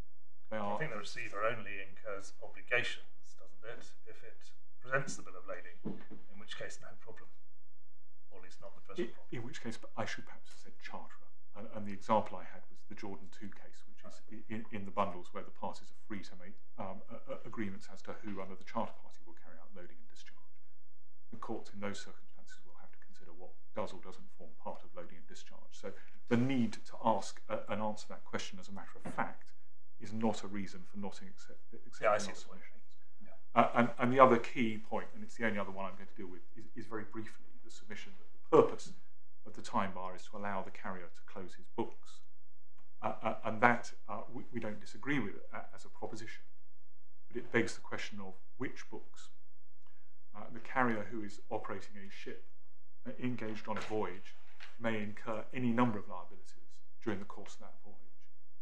He may incur um, a liability to the owners of another ship if there is a collision, uh, and that, that liability will be subject to a two-year limitation period he may incur a liability to a salvor if there is a casualty. That liability will be subject to a two-year uh, limitation. He may incur liabilities to his crew if one of them is injured on board, perhaps during the loading or discharging operation. And as a matter of English law, that will carry a three-year limitation period. He may be one of the carriers in a chain of carriages um, and therefore um, liable to receive an indemnity claim if one of the other carriers pays a, a Hague-Visby rules claim, uh, and that indemnity claim can be brought after the one-year period. So, my lords, al although there is clearly a benefit to closing the books at the end of one year, in, in reality, a carrier can only ever close his books in relation to claims relating to the contract of carriage. Uh, uh, and on that basis, our submission is entirely consistent with that, because on our submission, the carrier can still close that particular part of his book, but he can't close the rest of his books, and, and, that is no different to the position that would pertain whether I'm wrong or right. There will be other liabilities in respect to which the can't close his book. Uh, and related to that, it is said that um, in my learned friend's skeleton argument and, and in, the, in the judgment, and I think the word the tribunal used was a serendipity, if the receiver chooses not to present the bill, uh, he can essentially say, well, now you've got to discharge, and delivery will take place later, and anything that happens after that won't be covered by the time bar. And it is said, why, why should the carrier in, in, that context be put in the difficulty of either having to keep the cargo on board his ship or discharge and lose the benefit of his time bar? Uh, and the answer is that if he's supposed to be delivering only to the person that presents the bill of lading, and he chooses to present without the bill of lading, he chooses to put himself in that difficult position. And if he's compelled to do so, because um, there's a contractual term, as in the charter party in this case, that requires him to discharge and deliver without the bill of lading, then the reason he um, loses the benefit of the bill of lading is because he's signed up to a contract term that obliges him in certain circumstances to act in breach of the bill of lading contract by delivering without production of the bill of lading. Uh, and in those circumstances, there's nothing surprising or uncommercial about the carrier losing the benefit of the time bar. And in fact, the reality is that the party that provides the letter of indemnity loses the benefit of the time bar because they're indemnifying the carrier against the claim um, made against him. And so, in, in, our respectful submission, that suggestion that there's something uh, un untoward about our submission because of the way it impacts on the carrier's ability to close his books and, and have the benefit of the time bar simply takes um, the matter no further. So, to conclude, um, we do submit that the wording of the rules is clear. Um, our submission as to the wording of the rules is supported by all, all of, of, the decisions um, in this jurisdiction when they're correctly analysed. All of the decisions in the foreign courts, apart from the judgment of President Kirby, uh, when they're correctly analysed, uh, is not in black and white terms contradicted by any of the textbooks and does not give rise to difficult practical issues other than those that are inherent in, in concept of a contract of carriage by goods by sea in any event. Uh, uh, and in those circumstances, we do, with respect, suggest that the tribunal and Sir William Blair, the trial judge, uh, were wrong uh, in, in, relation to both the issues of law and invite the court to allow the appeal. No, thank you very much, Mr. Smith. Mr. Rainey.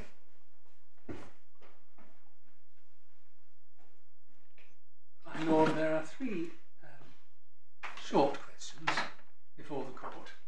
The first question is Does Article 3, Rule 6, and our provision in the Hague-Visby rules, apply on the true construction of the convention of which it forms a part to liability of the carrier for wrong delivery occurring after discharge? The second question is if it does not, have the parties to this bill of lading contract applied the Hague-Visby rules, including Article 3, Rule 6, to govern their relationship post-discharge. And the third question is that if either one or two is answered in the affirmative, so that Article 3, Rule 6 applies, what is the effect, if any, on that of clause 2c of the bill of lading, the reverse of the bill. So taking the first question first, and the approach to, and the question of construction of Article 3, Rule 6, I'm going to deal with this in five sections. First of all, the court's approach to the uh, contract, the construction exercise on this issue. Secondly, the language of the Hague-Visby rules and the change to the Hague Visby rules affected in the Hague Visby rules and the text of Article 3, Rule 6, which this court is construing. Uh, third, the uh, confirmation the meaning derived from the construction of Article 3, Rule 6 of the Hague rules from the Travaux Preparatoires. Fourth, uh, commentaries and textbooks and the views expressed in that. And fifth, cases relied upon by the bank, both here and abroad. If I start with of approach, as has come up in argument this morning and this afternoon, we're construing, or the court is construing, an international convention. Therefore, before the Vienna Convention, the test was, as Lord Macmillan put it in Stag Line, broad principles of general acceptation. In subsequent cases, for example, Fothergill and Monarch Airlines, the court has held that those principles are broadly uh, the same as those in the Vienna Convention, whether the Vienna Convention was in force or not, because the Vienna Convention enshrines accepted principles of international law as to treaty interpretation. So uh, uh, a good example of that being applied was in the Ocean Victory, as friend mentioned, where the uh, Vienna Convention was cited and applied by the court in construing the Limitation Convention of 1957. So the court is approaching the exercise uh, by looking at the text in good faith, uh, construing it in accordance with the ordinary meaning to be given to the treaty looking at the words in their context and looking at the words in the light of the object and purpose. And I just want to say a, a few things about context and object and purpose, both for the Hague Rules, but particularly for the change to the Hague Rules, which was affected by the Visby Protocol. And as to object and purpose, the court will need to consider first what was the object and purpose, insofar as it can be derived, uh, of the time bar provision in Article 3, Rule 6 of the original Hague Rules. And secondly, what was the object and purpose of the redrafting of that time bar provision in the Hague Visby Rules? Because, as the court will be aware, one of the very few changes made to the Hague Rules to clarify and amend the rules uh, was summarised in, in a, literally an agenda of six items by the CMI at the Rijeka conference in 1959, which started the ball rolling for the discussions which culminated in the Visby Protocol. And one of those, as we'll see, was the problem of delivery to somebody who was not entitled to delivery and what that means.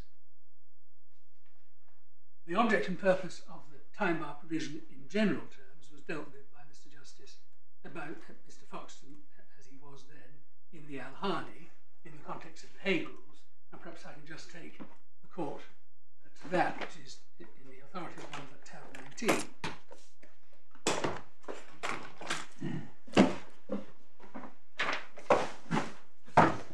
And this is effectively the closing the books point. My learned friend is right. The court needs to ask itself what book is being closed in, in relation to the whole contract of carriage or in relation to a part of the contract of carriage.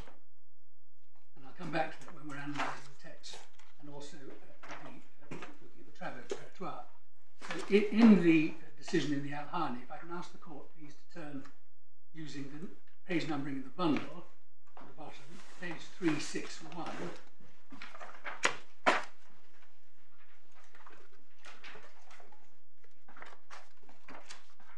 And um, Fox, the paragraphs,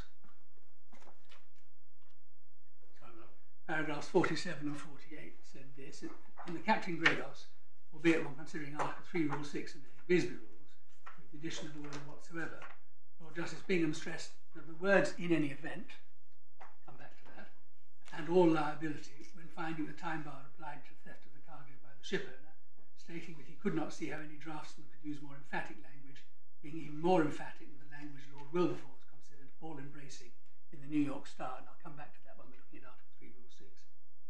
Further, the object of finality, which it has been held that Article 3, Rule 6 was intended to achieve, in the authorities referred to in paragraph 33 above, I'll come back to that, and also by Mr. Justice Tomlinson in the Sophie J, would be seriously undermined if the rule did not apply to misdelivery claims. Assuming that there was no applicable contractual limitation period, it would seem to follow from Mr. Kenny's submission prescription period applicable to misdelivery claims uh, would vary according to the proper law of the bill of lading contract and the law of the forum, in particular whether the forum treated issues of prescription as matters for the law of the forum or the lex causa. Now, that was being analysed in the context of does it apply to misdelivery on discharge or not? But the precisely the same consideration applies when one's considering misdelivery by the carrier after discharge. Still, while he's performing the bill of lading contract, meant to be. And if we go back to paragraph 33, you know, which Mr. Foxton referred to, where Mr. Foxton endorses the submission made by Mr. Phillips. It's at page 357, and paragraph uh, 33. Uh, second, an expansive construction of Article 3, Rule 6, was supported by the purpose of Phillips said was to enable the shipowner to close its books, relying on statements that effect by Lord Wilberforce in the Aries and Lord Justice Bingham in the Captain Gregos. So the object and the purpose of this time bar provision, both in the Hague rules and, as we will say, a fortiori in the Hague Visby rules, was to enable the shipowner to close his books, and for that reason, it is normally given an expansive and purposive construction to allow the shipowner close his books. I know a friend's submission, with which he was just closing a few moments ago, has the shipowner having two books a a a, between loading and discharge book, that can be closed, but another book relating to the goods and the performance of the contract, the bill of lading contract, and there is only one contract, the Hague Rules simply form part of that contract, upon, upon which he can't close. Don't different considerations apply, at least to some extent? I mean, the ship owner knows if his ship has been involved in a collision, because that can't happen without you knowing about it, or if you needed if you needed salvage services. Um, and likewise, he knows um, if he's delivered the goods to someone who hasn't presented the bill of lading. He may not know if there is a cargo claim lurking there for damaged cargo, which um, he can't see because it's buried in the hold somewhere. And um, best he can do is that because no notice of claim has been given, he's got a prima facie argument, um, but he can't tell whether somebody is going to come out of the woodwork up to up to six years later if there's no time bar. At any, at any rate, within within one year. Um, so he may not know that he's facing a cargo claim. Well, but, but Lord, then that supports the expansive construction because the, the carrier knows uh, that, your lordship says, something may come out of the woodwork when, when the goods finally get to the factory miles away from the port and someone opens up the crates or, or, or the, the, the, container arrives at the reefer depot and they've discovered it, it's all gone mouldy. Uh, um, what the carrier needs is, is absolute certainty from a, a fixed point that the, that bill of lading contract is closed. And that is why, we'll come on to that when we look at the, the, the use of the word delivery rather than discharge, that is why the point is taken from delivery, not discharge. Because he, he says, I now deliver the goods to you. Um, and we need to test this both in the case where there is delivery as well as misdelivery. I deliver the goods to you. I now have the certainty that knowing one year after this point takes place, all claims whatsoever in respect to the goods, we'll come on to the language of the Visby but the language is equally very wide in the Hague Rules in any event or liability in respect of loss or damage. Uh, uh, and he will know that the book is closed. The, the, the, the closing the book philosophy carries with it the idea that a short or shorter period of time is justified by difficulties otherwise in being able to investigate the facts and meet the claim properly. Yes. So having a short period after which uh, an owner is entitled to close his books is in some senses a shorthand for saying there are claims which, if he doesn't know about them and can't investigate them within a reasonably short period, he ought fairly to be able to say, well, then it's too late now because it's not fair to let me investigate. Yeah. I think the point that my lord was making is that a misdelivery claim doesn't really fall in that category because from the very moment of delivery, the ship owner will know whether he has or hasn't delivered against production of a bill of lading, uh, and he's no, he's not in, put in put in a prejudiced position if it's six years rather than one year, so far as investigating the claim is concerned. Yes, that's the relevant time bar. Well, but, and, and because as it's a strict liability obligation, there's never going to be very much to investigate in the way well, I, contrast with a with a typical cargo claim. I take that I take that in the context of misdelivery, but what the court is is construing here is the operation of Article 3, Rule 6 in a misdelivery context. But what the court is actually construing is what does Article 3, Rule 6 mean as a time bar? Is it a freestanding time bar? I think your Lordship, my Lord Lord Justice Males put it a halfway house, so that it, it, it, it operates in relation to all liabilities in respect of the goods, uh, which might be incurred by the carrier. And so one can't test it only by saying, well, I don't need to construe Article 3, Rule 6, as you say, because misdelivery is very obvious, and therefore you don't need to investigate anything, and there's no real purpose for, for um, construing the rule in that way. But test the position in relation to the time bar in this way, and we'll come on to uh, how this would be contemplated in the rules, on the language of the rules. What of the situation where goods are discharged, are held by the carrier for three days, while the receiver uh, uh, um, around looking for the bill of lading, and The goods are then damaged due to want of care in that particular time, but not yet apparent because somebody disconnects the, the, the reefer plug, uh, the next morning reconnects it, but it's too late, the goods are spoilt. They won't know that uh, any more than they would know it if it happened on board the ship. In those circumstances, the closing of the books argument is equally applicable. So, so it is your it is your case that um, we're, we're not here concerned with the halfway house. If one is pre um, delivery, then all the Hague rule, Hague and Hague rules exceptions apply. So, for example, the fire exception would apply to, to a fire whilst it was in storage and so on. My lord, we have two positions. First, we say that the time bar provision, whatever else may or may not apply, applies. Because it, it, it was To, to all, to all, not just to misdelivery claims, but to all to all claims. to all claims. Right. And that's the language both of the Hague rules and the Hague rules.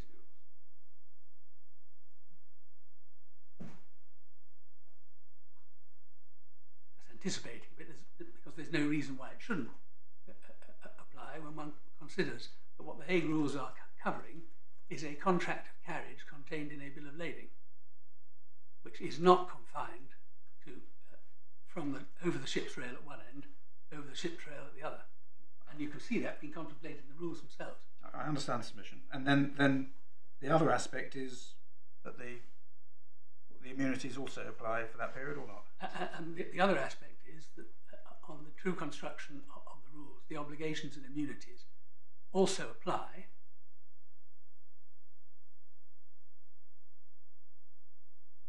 But pursuant to Article 7, which is important in this case, they can be contracted out of if the carrier wishes.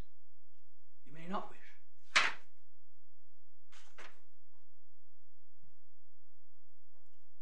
That was the view of the tribunal.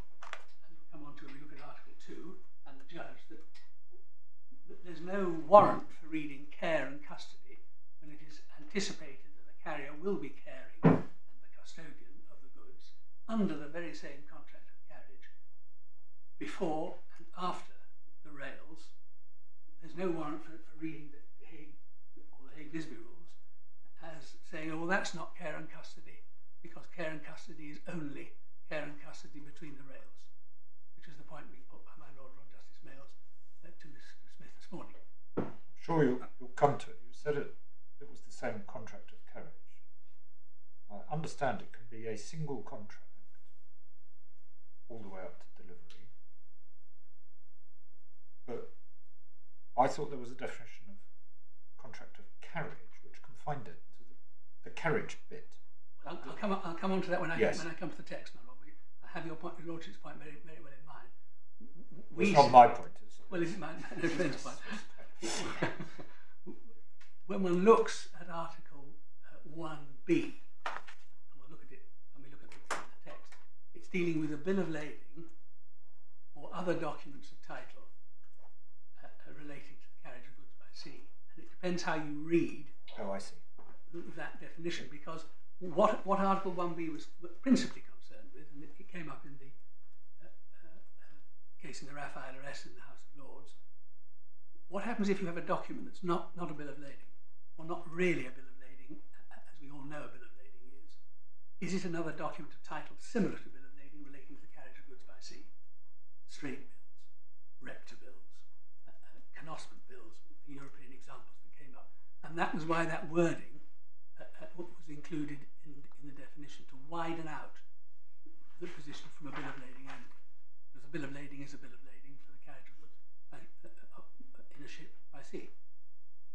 And I'll come on to the text in, in, in just a moment. So um, those are our uh, uh, those are our positions. You can contract out of the Hague rules, the Hague Visby rules at either end, if, you want to. And when one looks at the language of Article 7, it doesn't say rules shall not apply. It says nothing in these rules prevents people from contracting out of, of their application. And Article 3.8 doesn't do so. And Article 3, uh, actually right, one has to read Article 3.8 and Article 7. And what, what really, together, what is really happening in our submission is that when people talk about the period of responsibility, you're talking about, I think it was the way Mr. M- Mr. Mocatta put it in Pyrene and Scindia in the argument, You're talking about what you can't contract out of. So it's not the period of responsibility so much as the period of unexcludable responsibility. My lord, absolutely, that's what we would say. The period, the period of the irreducible minimum, both of your obligations and of the sorts of defences you can rely on. Because the, one of the huge mischiefs that the Hague Rules cleared up was uh, uh, pages, literally pages, of, of, bill of lading exceptions. All of those were condensed into one simple but much shortened list, Article 4, Rule 2. And that's what you can't contract out of. So um, that's what I say is the, I've extended myself slightly to what the language is going to say, the object and purpose. So the object and purpose is a, a, a freestanding time bar provision to allow the ship owner to close his books on the contract of carriage and his performance, misperformance of it in any respect. And it runs in respect of all liabilities, and that's what the court is really concerned to construe, both in the Hague Rules and the Hague Visby Rules, all liabilities uh, uh, whatsoever, uh, Hague Visby, in any event, in, in respect of loss or damage, Hague Rules, from a set date. So from that set date, delivery, or the dates when the goods should have been delivered, one year runs at the end of that year, that's it. All claims stop. That's what we say the object and purpose uh, uh, uh, is uh, and was. Um, context. This is important also. It an important part of the way the tribunal approached it. Because uh, one forgets that what, one's dealing with is a bill of lading contract. Uh, um, and so a, a, number of contextual matters. First of all, uh, as the tribunal stressed, every bill of lading carriage goods by sea contemplates and requires delivery of the goods to be made by the carrier to the person presenting the bill of lading.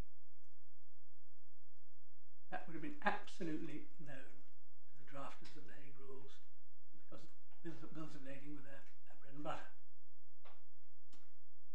Secondly, discharge of goods and delivery of goods are different aspects of the performance of the bill of lading contract and may be at different stages.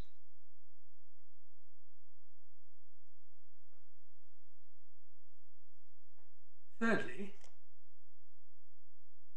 save in trades where the delivery of the cargo from the ship occurs instantaneously at the time of discharge, for example, liquid bulk cargoes at the flange, or some types of bulk cargo being delivered onto the uh, receiver's conveyor belt. Both in 1922 as in 1968, uh, uh, cargoes are commonly, and now very rarely, delivered by the carrier to the receiver at the point of discharge, i.e., by discharging it into the receiver's literally awaiting hands from the net as it goes over the rail. So did you say commonly or uncommonly? You said commonly. Commonly. But I think, but I think you meant I meant the opposite. I must have meant the opposite. So uh, that that net net and over the rail exercise is uncommon. Was in 1924, certainly was by 1968, and as we see in the New York Star, Lord Wilberforce, when I come to it, I'll show the passage, says that it's uh, uh, really quite unusual now for goods to go straight to the receiver. They wait on the jetty, and your lordships, uh, or at least two of your lordships, will understand very well that, that that's how it happens. Goods wait for the receiver to come. One reason why they wait for the receiver to come is because the receiver doesn't have the bill of lading, or the receiver may be um, tardy in coming to take the goods. But therefore, the carrier has to arrange uh, uh, um, something for the goods after they've got off the ship. And all of that would have been very well known to the drafters of both sets of rules. Please excuse my ignorance, but, these bills of lading presumably go back well into the 19th century. Was the original conception of a carrier somebody who literally just discharged the goods at the ship's side and the receiver would take it there and then? Or has it always been the case that, goods uh, wait on the quay? It's, it, it, it, it's a good question, but I think uh, originally the, the conception of a bill of lading issued in, in three, uh, three originals would be that the bill, bill of lading would go to different parties, and one would try would usually get to the port of discharge before the vessel arrived, so the receiver could present the bill of lading a- a- and take and take the goods.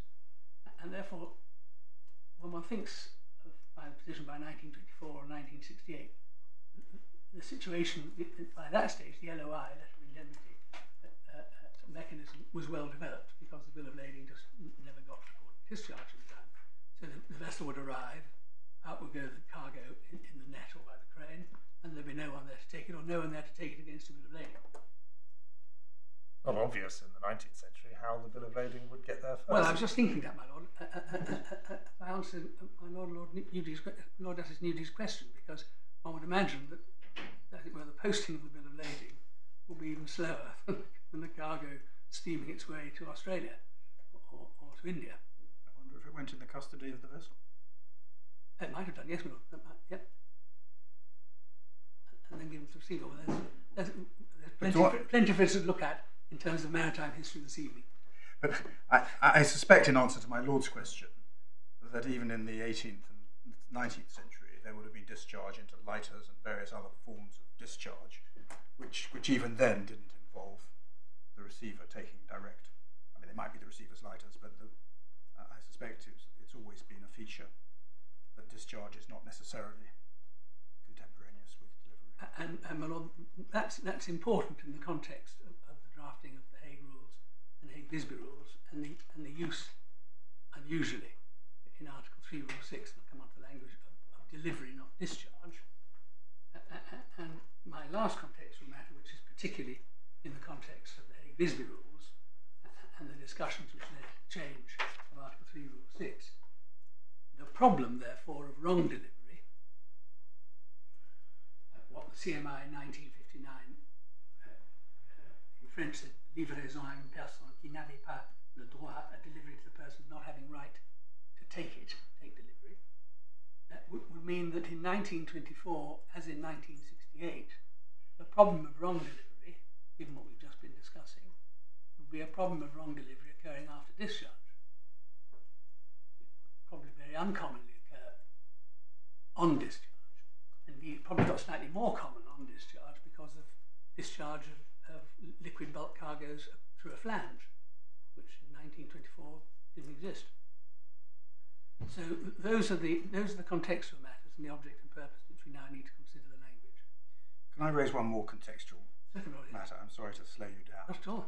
Um, I came across, because I was looking at it in relation to another case, the Law Commission report, which preceded the 1992 COGSA, Yes, lord. uh, uh, which, as you know, involved wide consultation. Uh, and one of the things it said, paragraph 2.42, if you go and look at it, is that uh, bills of lading might take up to a year to work their way through the chain. Um, it surprised me slightly when I read it, but the, the experience of those who were consulted would have been far greater than mine.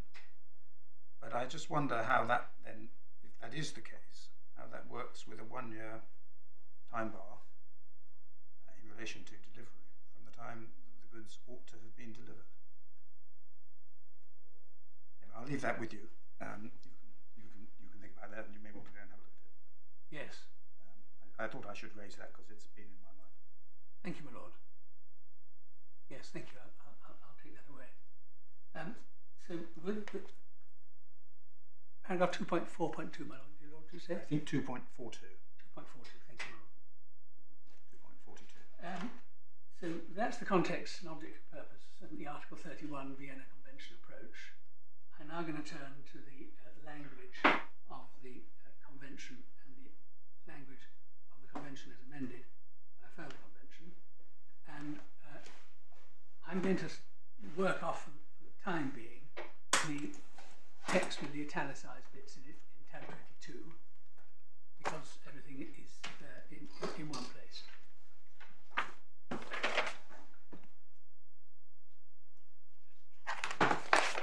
Um, so if we work our way through, first of all, at page 456, the definitions in Article 1, uh, and these being precisely the same definitions in both sets of rules. Um, immaterial textual change in the introductory wording of Article 1. A carrier uh, includes the owner or charter who enters into a contract of carriage with a shipper. A contract of carriage applies only to contracts of carriage covered by a bill of lading or any similar document of title insofar as such document relates to the carriage of goods by sea, including any bills of lading or any similar document as aforesaid, issued under uh, or pursuant to a charter party. And it, when one sees how the uh, how the Act understands that wording, one just turns back a page.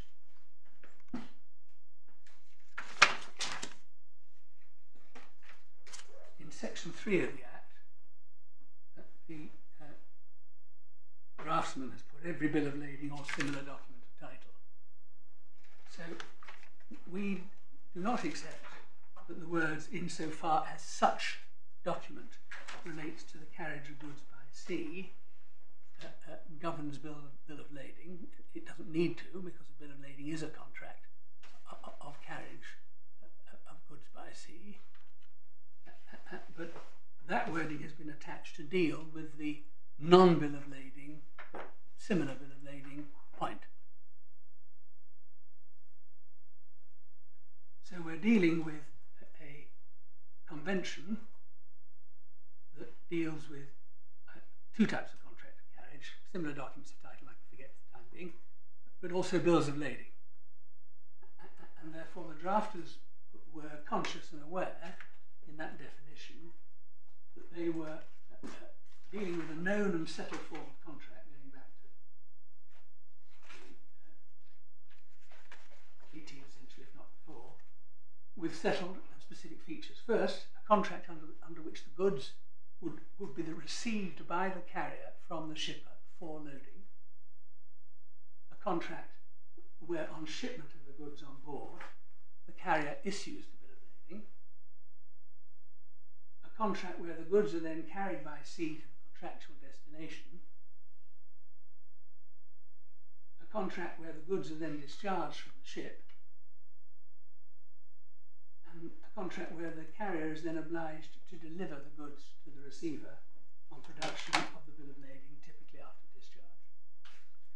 And so the concept of delivery and the obligation to deliver uh, uh, uh, are uh, important aspects of the bill of lading. And the tribunal, the experienced tribunal, was right so to stress. You said that a bill of lading only applies to the carriage of goods by sea anyway. Yes. What happens if you have a contract like one of the ones in the bundle where there's a sea leg and then a land leg? Is, that it's one contract? Does the bill of lading only cover the first part of it? Well, no, you then you then have you then have a through a through bill of lading, which would uh, uh, cover the different stages. Um, but, but at this stage, uh, I, I don't know how common through bills were in 1924, 1922, covering land carriage by the bill of lading. But in our submission, the words bill of lading here mean a bill of lading which is issued, uh, uh, and a bill of lading the standard meaning of bill of lading will be a bill of lading which is issued for sea carriage. Only. Uh, well, only, but if it's issued for more than sea carriage, see Mr. Justice Devlin and Pyrene and Scindia, then the rules will only cover the sea uh, carriage contract, not the road contract.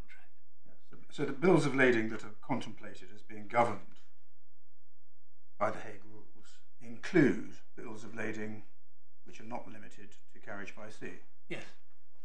And the purpose of this is to limit the application of the to the carriage by sea aspect. Yes. And of, and of the carriage by sea aspect, as we'll see when we look at Article 3, uh, that will include uh, the carrier receiving the goods for loading on board and the carrier holding the goods after discharge, awaiting the production of the bill of lading. That's part and parcel of, a sea carriage contract because it, it doesn't change its, its nature uh, and just because the goods are coming across the rail, it's no longer a contract of carriage for goods by sea. The cardinal obligation uh, of the carrier under a bill of lading contract for carriage by sea is to deliver the goods uh, uh, to the receiver. That's a, a bill of lading contract of carriage by sea obligation. But it's the same obligation under a bill of lading contract which involves more than carriage by sea. It may be, but yes. But I was just picking up your. If, if I've got your submission correctly, as a matter of grammar, the words insofar as such document relates to the carriage of goods by sea, you said didn't apply to bill of lading, but only applied to similar document of title. That in our submission is the force of the word such. So, how does this work if you have a through bill? Uh, I understand you say may not have been very common. If you have a through bill of lading with a sea leg followed by a land leg, doesn't need to be by road, could be by rail. Does the whole, I mean, the whole the whole contract is not is, is, is not a contract of carriage of goods by sea, is it? Uh, It isn't, my lord, no, and that's why when we come on to Pyrene Scindia, we see uh, uh, Mr. Justice uh, Devlin saying that it, it may it'll only carry it'll only, it'll only apply to so much of that contract that relates to the carriage by sea. Yes. Uh, uh, and I, I, when I say carriage by sea, I'm referring to it in, in, in, the, in the wide sense, from re- receipt of the goods uh, to um, Delivery. delivery. Uh, but it doesn't apply, to, for example, to inland transport. Because th- th- this, this, this act is regulating, broad sense, sea carriage. But isn't that what 1B does for a through transport bill? Well, I mean, If, if, if, if 1B doesn't do that, what is it that disapplies the rules to, to inland transit? uh, well, because it's, it, it, it, it's I see, your, I see what you're saying. I, I, I would submit because inherent in the bill of lading, as used in, in, this in, in this terminology, and as used in section three, it's inherent that we're talking about a sea bill of lading.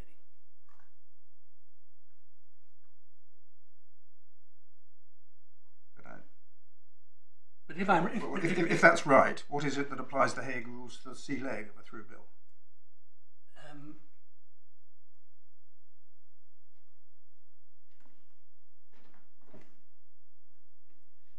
well, my lord, because um,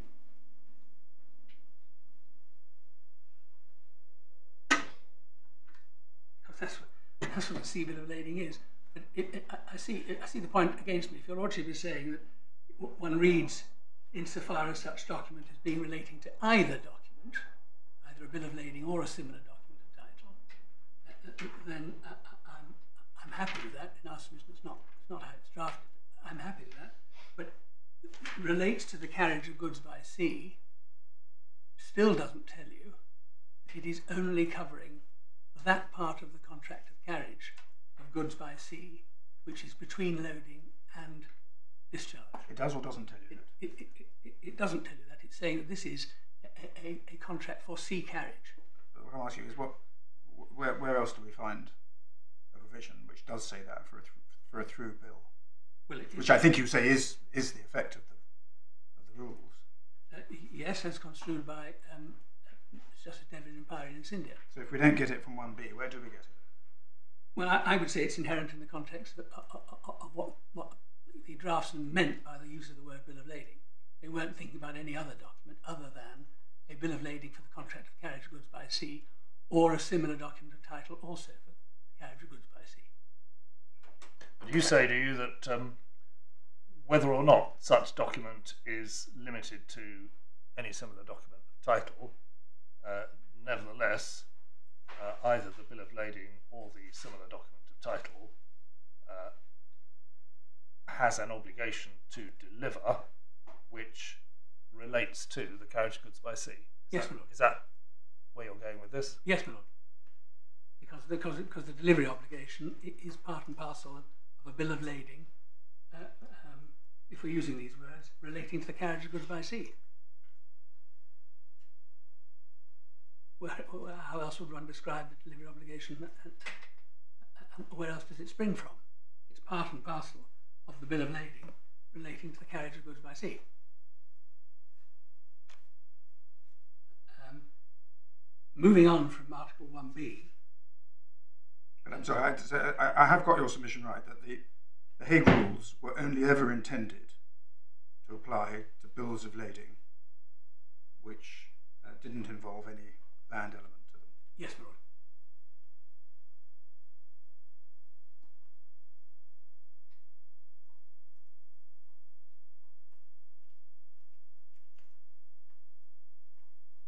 Is that it, or is it they do apply to bills of lading, which may have a land element, but only apply in relation to the sea carriage part? You're absolutely right, my lord. I, I, I answered too quickly. Either to co- contracts of carriage that only relate to sea carriage, or if it's a, a, a contract which relates to sea carriage and land carriage or road carriage, only to the sea carriage part. Well, that's what I thought you'd say, but that's I, I'm still having difficulty in reconciling that with your submission as to the scope of 1B, because you say 1B isn't what One be what, sorry? 1B isn't what gives rise to that, i.e., only applying the rules to the sea carriage bit, covers more than sea carriage. Well, Lord, I, I say it two ways. Either because the term bill of lading means sea carriage bill of lading, that's how it's understood, or alternatively, if I'm wrong, and insofar as uh, governs both the bill of lading and the uh, other document title, then it's because it's a sea carriage bill of lading.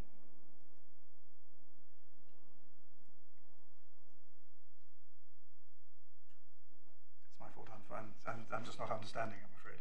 If, I, I think I think we'd settled on suggesting that the uh, Hague rules do apply to uh, bills of lading which evidence contracts of carriage which involve more than the sea carriage, but that they only apply to the sea carriage element of it. Have I got that right? Yes, Ireland's India. Right. And your submission on Article 1B is that's not, that's not where you find the provision which only, which in such a case applies the rules only to the sea carriage element.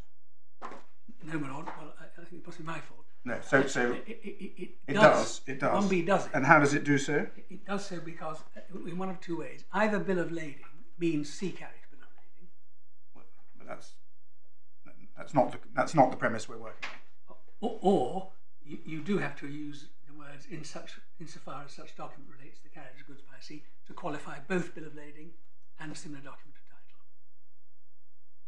So, for example, if you have a bill of lading which relates to sea carriage and a, a, a road leg, uh, the uh, relevant contract of carriage for the purpose of the rules is only the bill of lading insofar as it relates to the sea leg, not the, not the road leg.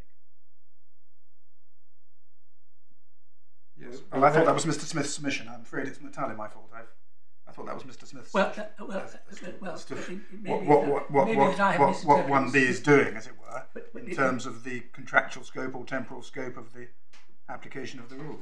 But it depends depends with how you're reading in that in that sense the carriage of goods by sea. Are you reading it as being the carriage of goods by sea, i.e., from the rail to the rail, or are you reading it as being a contract for the carriage of goods by sea, wide sense, i.e., not a land carriage, but sea carriage, which involves, as we'll see when we look at Article Three, at stages before the, the loading rail and after the discharge rail. I had understood my own friend's submission to be that the words carriage of goods by sea uh, uh, meant that it, you only apply any part of the rules, to the bill of lading contract insofar as it actually relates to that stage between the rails, allowing for some width at either, either end, and, therefore not the whole contract of carriage for goods by sea, but only to that part of the contract that actually relates to the stage of sea carriage between loading and um, discharge. And we would say that's a wrong reading because it, doesn't. It, it, it, there are different definitions which don't fit with that carriage of goods by sea. What this purpose, what this wording is doing, if it applies to both bill of lading and similar documents, and in one sense I don't care whether it does or whether it doesn't, it is not saying that this, these rules only apply to a bill of lading insofar as it relates to the stage between the loading rail and the discharge rail. That's what it's not saying. It's saying that it covers carriage of goods by sea all the way up to delivery. Yes.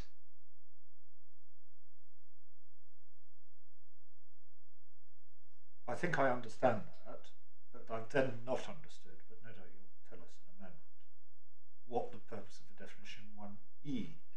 I'm, I'm, I'm going to come right to that right away. It's the, it's the next one. Um, or if we can just pick up 1C, uh, um, only because it's relevant to our argument which we'll have tomorrow in relation to clause 2C. Uh, and you'll see that certain types of goods are excluded from the operation of the Hague rules, deck cargo and animals. And that's something which is raised in clause 2C and may be relevant to how we approach clause 2C when we get there. So article 1E, carriage of goods covers the period from the time when the goods are loaded on to the time when they are discharged from the ship this in our submission is linked to, to the, uh, the irreducible minimum of obligations. Because one has to read that, Article 1E, with uh, um, Article 3, Rule 8, but also if one jumps ahead to Article 7,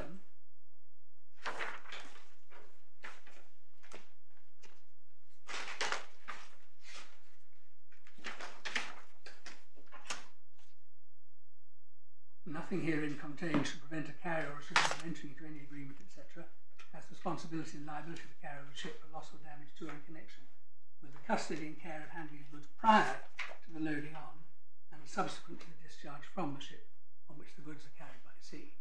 So one has carriage of goods being defined as this narrow. The unexcludable bit. The unexcludable bit. And then you have an extension at either end where you can exclude. That's your solution. Where you can exclude, yes. Uh, and which, and which reflects the fact that under any contract, uh, any bill of lading contract for carriage goods by sea, there will be a stage, short or long, before loading, and there will be a stage, short or long, after discharge. That I understand.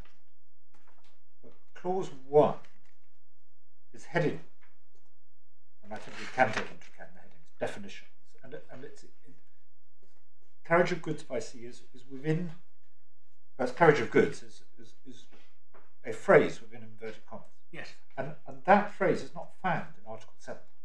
No. So, so it's not being used to tell you what Article 7 is, does. Unless I've misunderstood it, the only places that I've found carriage of goods, those words being used, are in Article 1b and Article 2. Well, they're not found anywhere else, but, but there they use. But if, if, they're not being defined for those purposes, they're not being defined for any purpose. Well, it, it, it's an oddity because what, what is then said is in Article 1b and Article 2 is, relate, is um, carriage of goods by sea, which is not a defined term. And, in, and a carriage of goods by sea would not really be, would not really be, uh, uh, and indeed, the use of the word carriage of goods by sea is used in relation to contracts of carriage of goods by sea, both in, in the context of 1b, if, if, if it's read in the way we've just been discussing, and under Article 2, under, under every contract of carriage of goods by sea, the carrier. So do you say that um, carriage of goods means something different from carriage of goods by sea? Well, I, what, what, I'm saying is that there are two concepts that the definitions are trying to grapple with. One, a contract for the carriage of goods by sea, which everybody knows and which the rules, as we'll see, reflect, have a stage anterior to the, to the loading stage and uh, posterior to the discharge stage.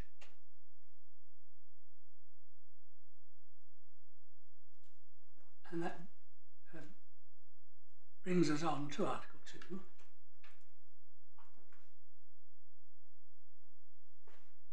which drafted in this way, is subject to the provisions of Article 6, under every contract of carriage of goods by sea, the carrier in relation to and then what is done is particular cargo operations are enumerated. And one of the issues for the court will be are they enumerated in a fixed order that starts with loading and ends with discharge, so that custody and care in the middle is only in the middle but not at either end. Uh, um, and the arbitrator's decision was that it didn't have to be read that way because uh, when one considers that the uh, carrier is in, does have custody of the goods before they're loaded on board and does have custody of the goods after they've been discharged on board, Article 2 is perfectly capable of being read as applying to that custody and care. And, and we say that, it, it is absolutely right. See, that being endorsed in some academic com commentary and also by President Kirby. But the easiest way, it was to be said that all this is applying to is carriage of goods, as defined in 1E, would have been simply to say, subject to the provisions of Article uh, 6, uh, um, the carriage of goods shall be subject to responsibilities and liabilities, etc., etc. That's not that's not what is said. What what the uh, what the draftsmen do are, are to set out a, a, description of the various operations which a carrier might will have be engaged with, and has done so in an economic way. I suppose if one wanted to take it chronologically, you'd say in relation to the custody and care, the loading, handling, stowage, carriage, custody and care on board, discharge, and further custody and care of such goods. But that would be a, a, a very unwieldy formulation. So what the draftsmen have done is to cover all the operations, the physical operations, uh, that a carrier uh, will carry out in relation to the goods, and say that uh, uh subject to provisions of Article 6, all of these are governed by these rules. But under Article 7, you can contract out if you want to. I, I understand that, yeah. but you said that there were two concepts. One was a contract for carriage of goods by sea, a composite phrase which has both pre-loading and post-discharge periods. Yes. What's the other concept? The other concept must be uh, uh, carriage of goods uh, being the uh, period of unreducible liability. Yes. Uh, uh, um, and that's between loading and discharge. That's between loading and discharge. So my question is, as a matter of text, yes. what is the definition in 1E used for on your submission? Because on Mr. Smith's submission, it's used to limit Article 2. And you say it's not used to limit Article 2. What is it used for? Uh, my Lord, in our submission, it, it, They've gone to the trouble of defining it in quite precise terms. Yes. Not absolutely precise terms. It could have been more precise. It could have said from crossing the ship's rail to crossing the ship's rail, but it, it's quite precise. And it's a period. What is that period? What what does it do in the, in the rules? Well, the, the, the, period in the rules, uh, um, although, the term isn't used, it, it has to be applied in the context of Article 3, Rule 8, and Article 7. Yes, but as you say, it doesn't use those words. And, and as I pointed out, these are definitions of, of phrases. You would expect to find a phrase I, used. I accept that, Manol, but, but as, we're, as we're, now, we're now going to see, as we come on to Article 3, Article 3 is dealing with aspects that are outside uh, the period from the time when the goods are loaded the time when they're discharged from the ship, at both ends. So the idea that article that, that, that the Hague rules only apply, every rule only applies between loading and discharge and says nothing about before and nothing about afterwards in our submission doesn't work on the face of the rules because the rules do have provisions, as we'll see, which deal with things before and things afterwards. And allow, I mean, if the rules are only dealing with rail 1 to rail, rail 2, then you don't need Article 7. Well, that depends, doesn't it, whether Article 7 is um, effectively saying that uh, the rules apply, but you can contract out, um, yes. or um, these rules have nothing to say about um, the period outside loading to discharge, and therefore you can do what you like as far as that's concerned. That's the um, which would really choice, isn't it? For That's the Article choice rule, yes. yes for the avoidance of doubt. If- If on on Mr. Smith's construction, it would really be Article Seven is the avoidance of doubt. We're not saying anything about Well, I mean, my lord, the, the, the, the choices are it's either it's either for avoidance of doubt, and it doesn't it doesn't it ring fences something it doesn't need ring fencing, or alternative it is saying the Hague rules cover contract of carriage of goods by sea, uh, uh, uh, um, in- including stages before and stages afterwards. But for those stages, you can uh, um, contract out, and that's the, the second choice, which is do you read custody and care in Article 2 as being custody and care whenever it occurs, or only in custody and care while the goods are actually on board the ship.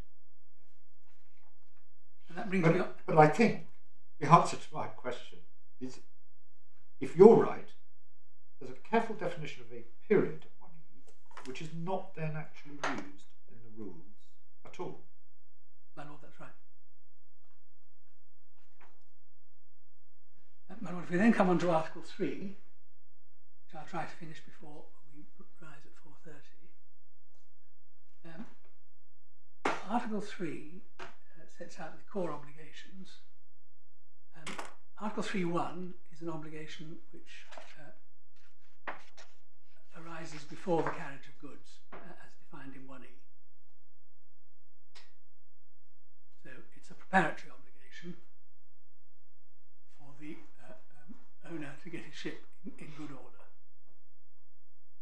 That, that, that, so that is difficult to square with a, a set of rules and obligations that are completely confined to the period of carriage.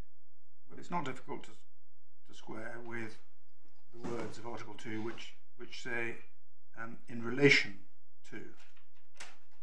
And that will be an obligation which is relevant in relation to the loading, the handling, the carriage of the cargo. May happen earlier, Well, it, it would depend upon whether whether loading has even started or is and the ship arrives in an unseaworthy condition.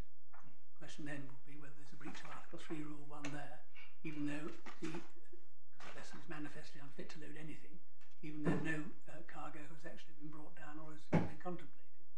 In our submission, that would be a breach of Article 3, Rule 1. in the same way as presenting with, with dirty tanks. Yes. And that's, bec- that's because uh, it is something which is in relation to the function of loading. Uh, that, that takes a very wide meaning in relation to loading, but I can see that, Rod, yes. Well, that's, uh, that's, that's what the Sonja says in relation to dirty tanks. Yes. And my lord, we then have Article uh, uh, 3, Rule 2, uh, which is a, a general obligation to, to keep, and care, keep and care for the goods, which is capable of applying in our submission any time. And then we have Article 3, Rule 3. After receiving the goods into his charge, carrier or the master shall issue to the shipper a bill of lading showing, among other things,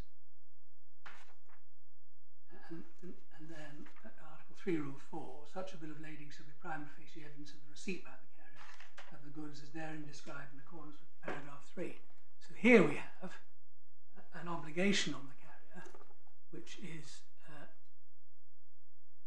outside uh, the um, period of responsibility, if I, if, I, if I use that phrase as a shorthand, a- and which is contemplating that the carrier will receive the goods for loading, but does not yet load them. Because uh, uh, he, he is then under an obligation, if the shipper asks for it, to give a received for shipment bill. And Article 3 uh, rule 7 then provides for the later situation when the goods are shipped and the uh, carrier at the request of the shipper, must then issue, if so requested, a shipped bill, which then replaces the receipt for shipment bill. And so the question then is, in between those stages which are contemplated, of the carrier receiving the goods into his charge, before shipment, i.e. before loading, do the rules, excluded under Article 7, do the rules apply to cover that stage by having a, an obligation on the carrier to keep and care for the goods properly? In our submission, it would. And that would be a statutory obligation, not a contractual obligation. That would be a statutory obligation, unless Wh- Where the rules apply by statute, because at that stage there wouldn't be a bill of lading contract. Uh, yes, my. But, So that, that's we're not at that stage contemplating a contract of carriage of any kind but, but, my lord- contained in the bill. But my lord, uh, uh, uh, assuming that the rules are applied uh, uh, contractually, and therefore not looking at any special statutory effect, do the rules on their face govern the responsibilities of the carrier after the goods have been received into his charge and before shipment? They can't contractually. If if if, if three three is is saying only at that stage will the bill of lading be issued. That can't be a contractual obligation to issue the bill at that stage. Uh, My lord, I'm, I'm not so much talking about the obligation to issue the bill. I'm talking about what what do the rules say about the obligation on the carrier to care for the goods after they're received into his charge before he ships them on board? Because this is contemplating that there is a stage, which is dealt with because of the receive for shipment bill, where the carrier has received the goods has not yet shipped them. And in our submission, that's, that's a good situation where, as the arbitrators said, for the rules uh, uh, applying in relation to custody and care, uh, uh, just as they would do uh, during the um, during the, the time they're actually on board. The carrier is, is has the goods delivered to him for and under the contract of carriage, then uh, uh, the custodian of the goods, and in our submission, the rules would apply to that stage. Can you help me with how common this is in practice? What what what happens? The, the shipper turns up with the goods and the, and the carrier takes custody of them and puts them in a warehouse. Uh, it's very common, my lord, particularly in containerized trades.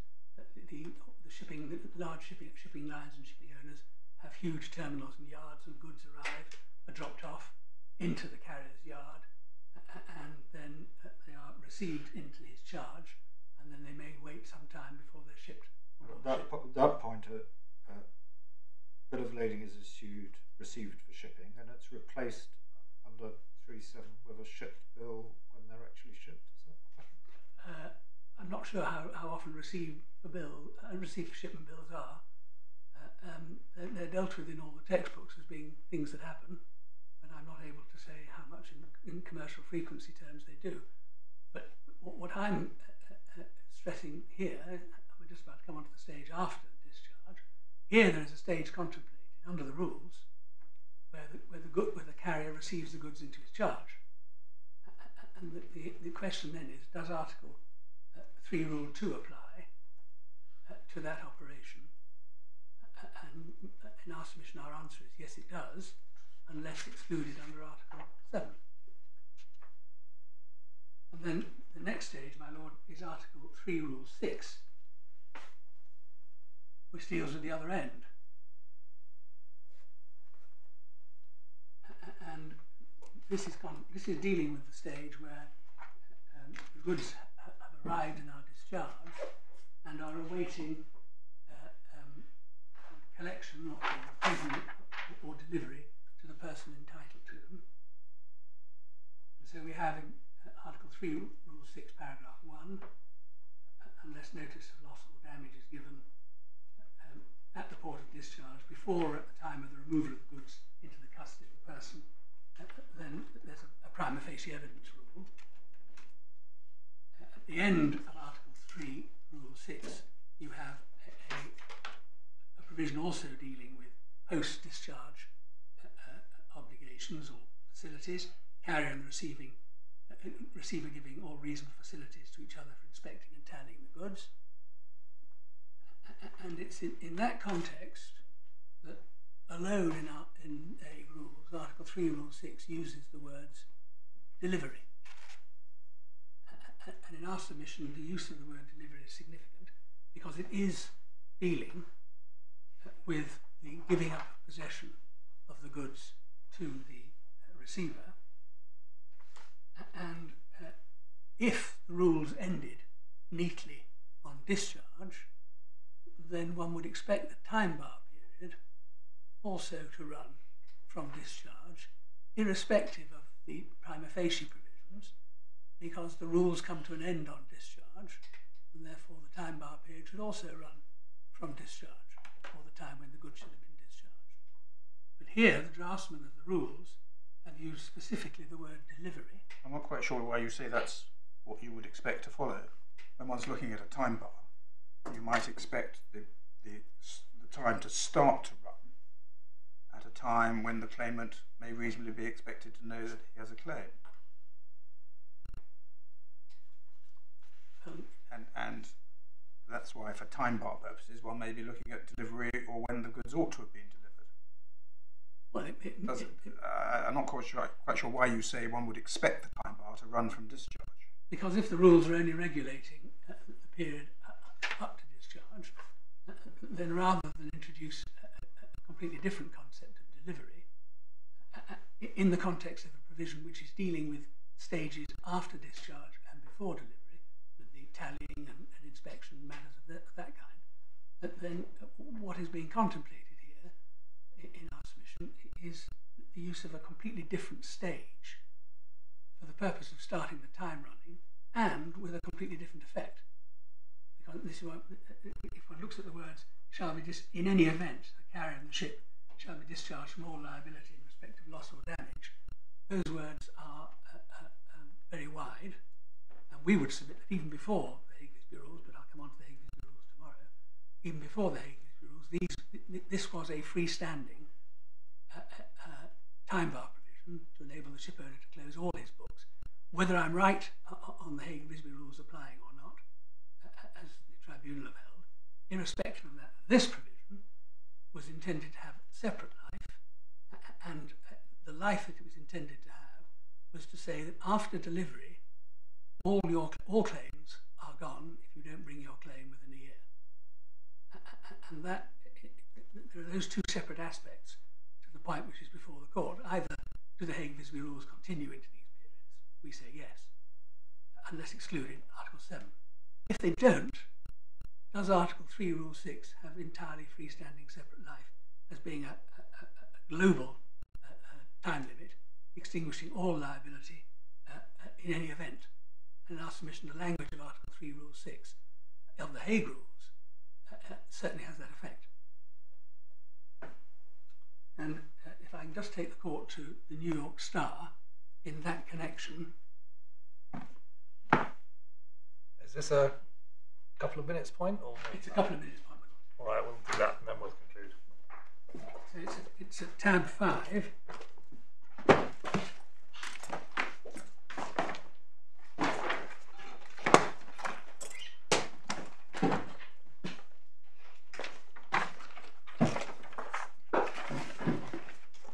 If I can turn in tab five, This is um, general all embracing terms. Is that what you want? yes, general law embracing claims. Yep.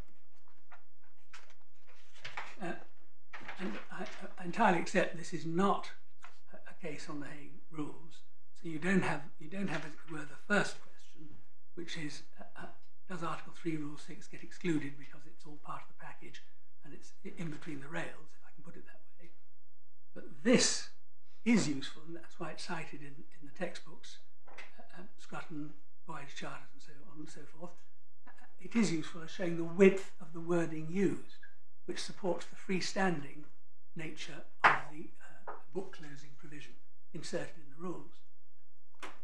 And This was dealing with uh, um, a theft after discharge, and as we see at the top of page 68, page 145 of report, clause 17 mirrors Article 3, Rule 6 of the Hague Rules.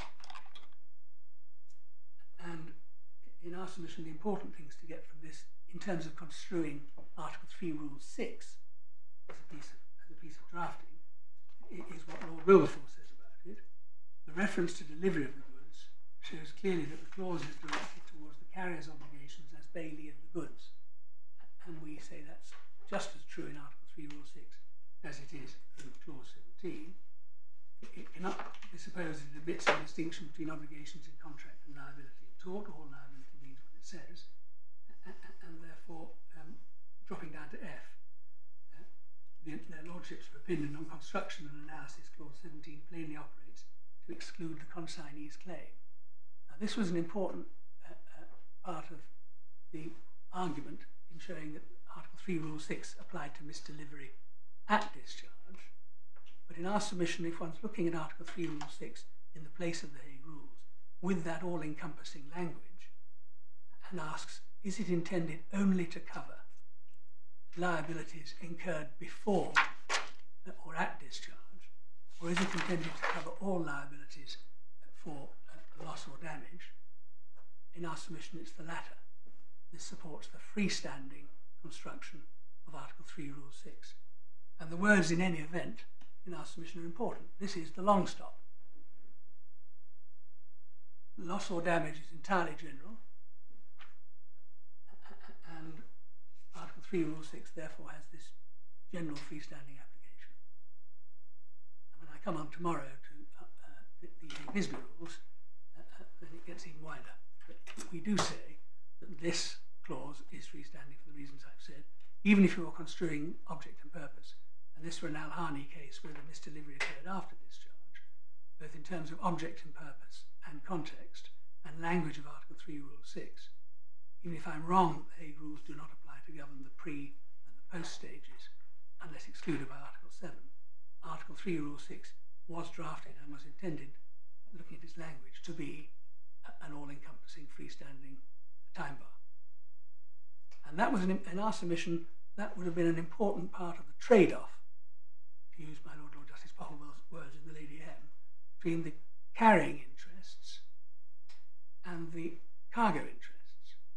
Because the carriers were giving up their right to clear their books with very short time limits and were giving what was then seen to be a very generous uh, uh, uh extension to cargo interests, waiving all the old Bill of Lading clauses.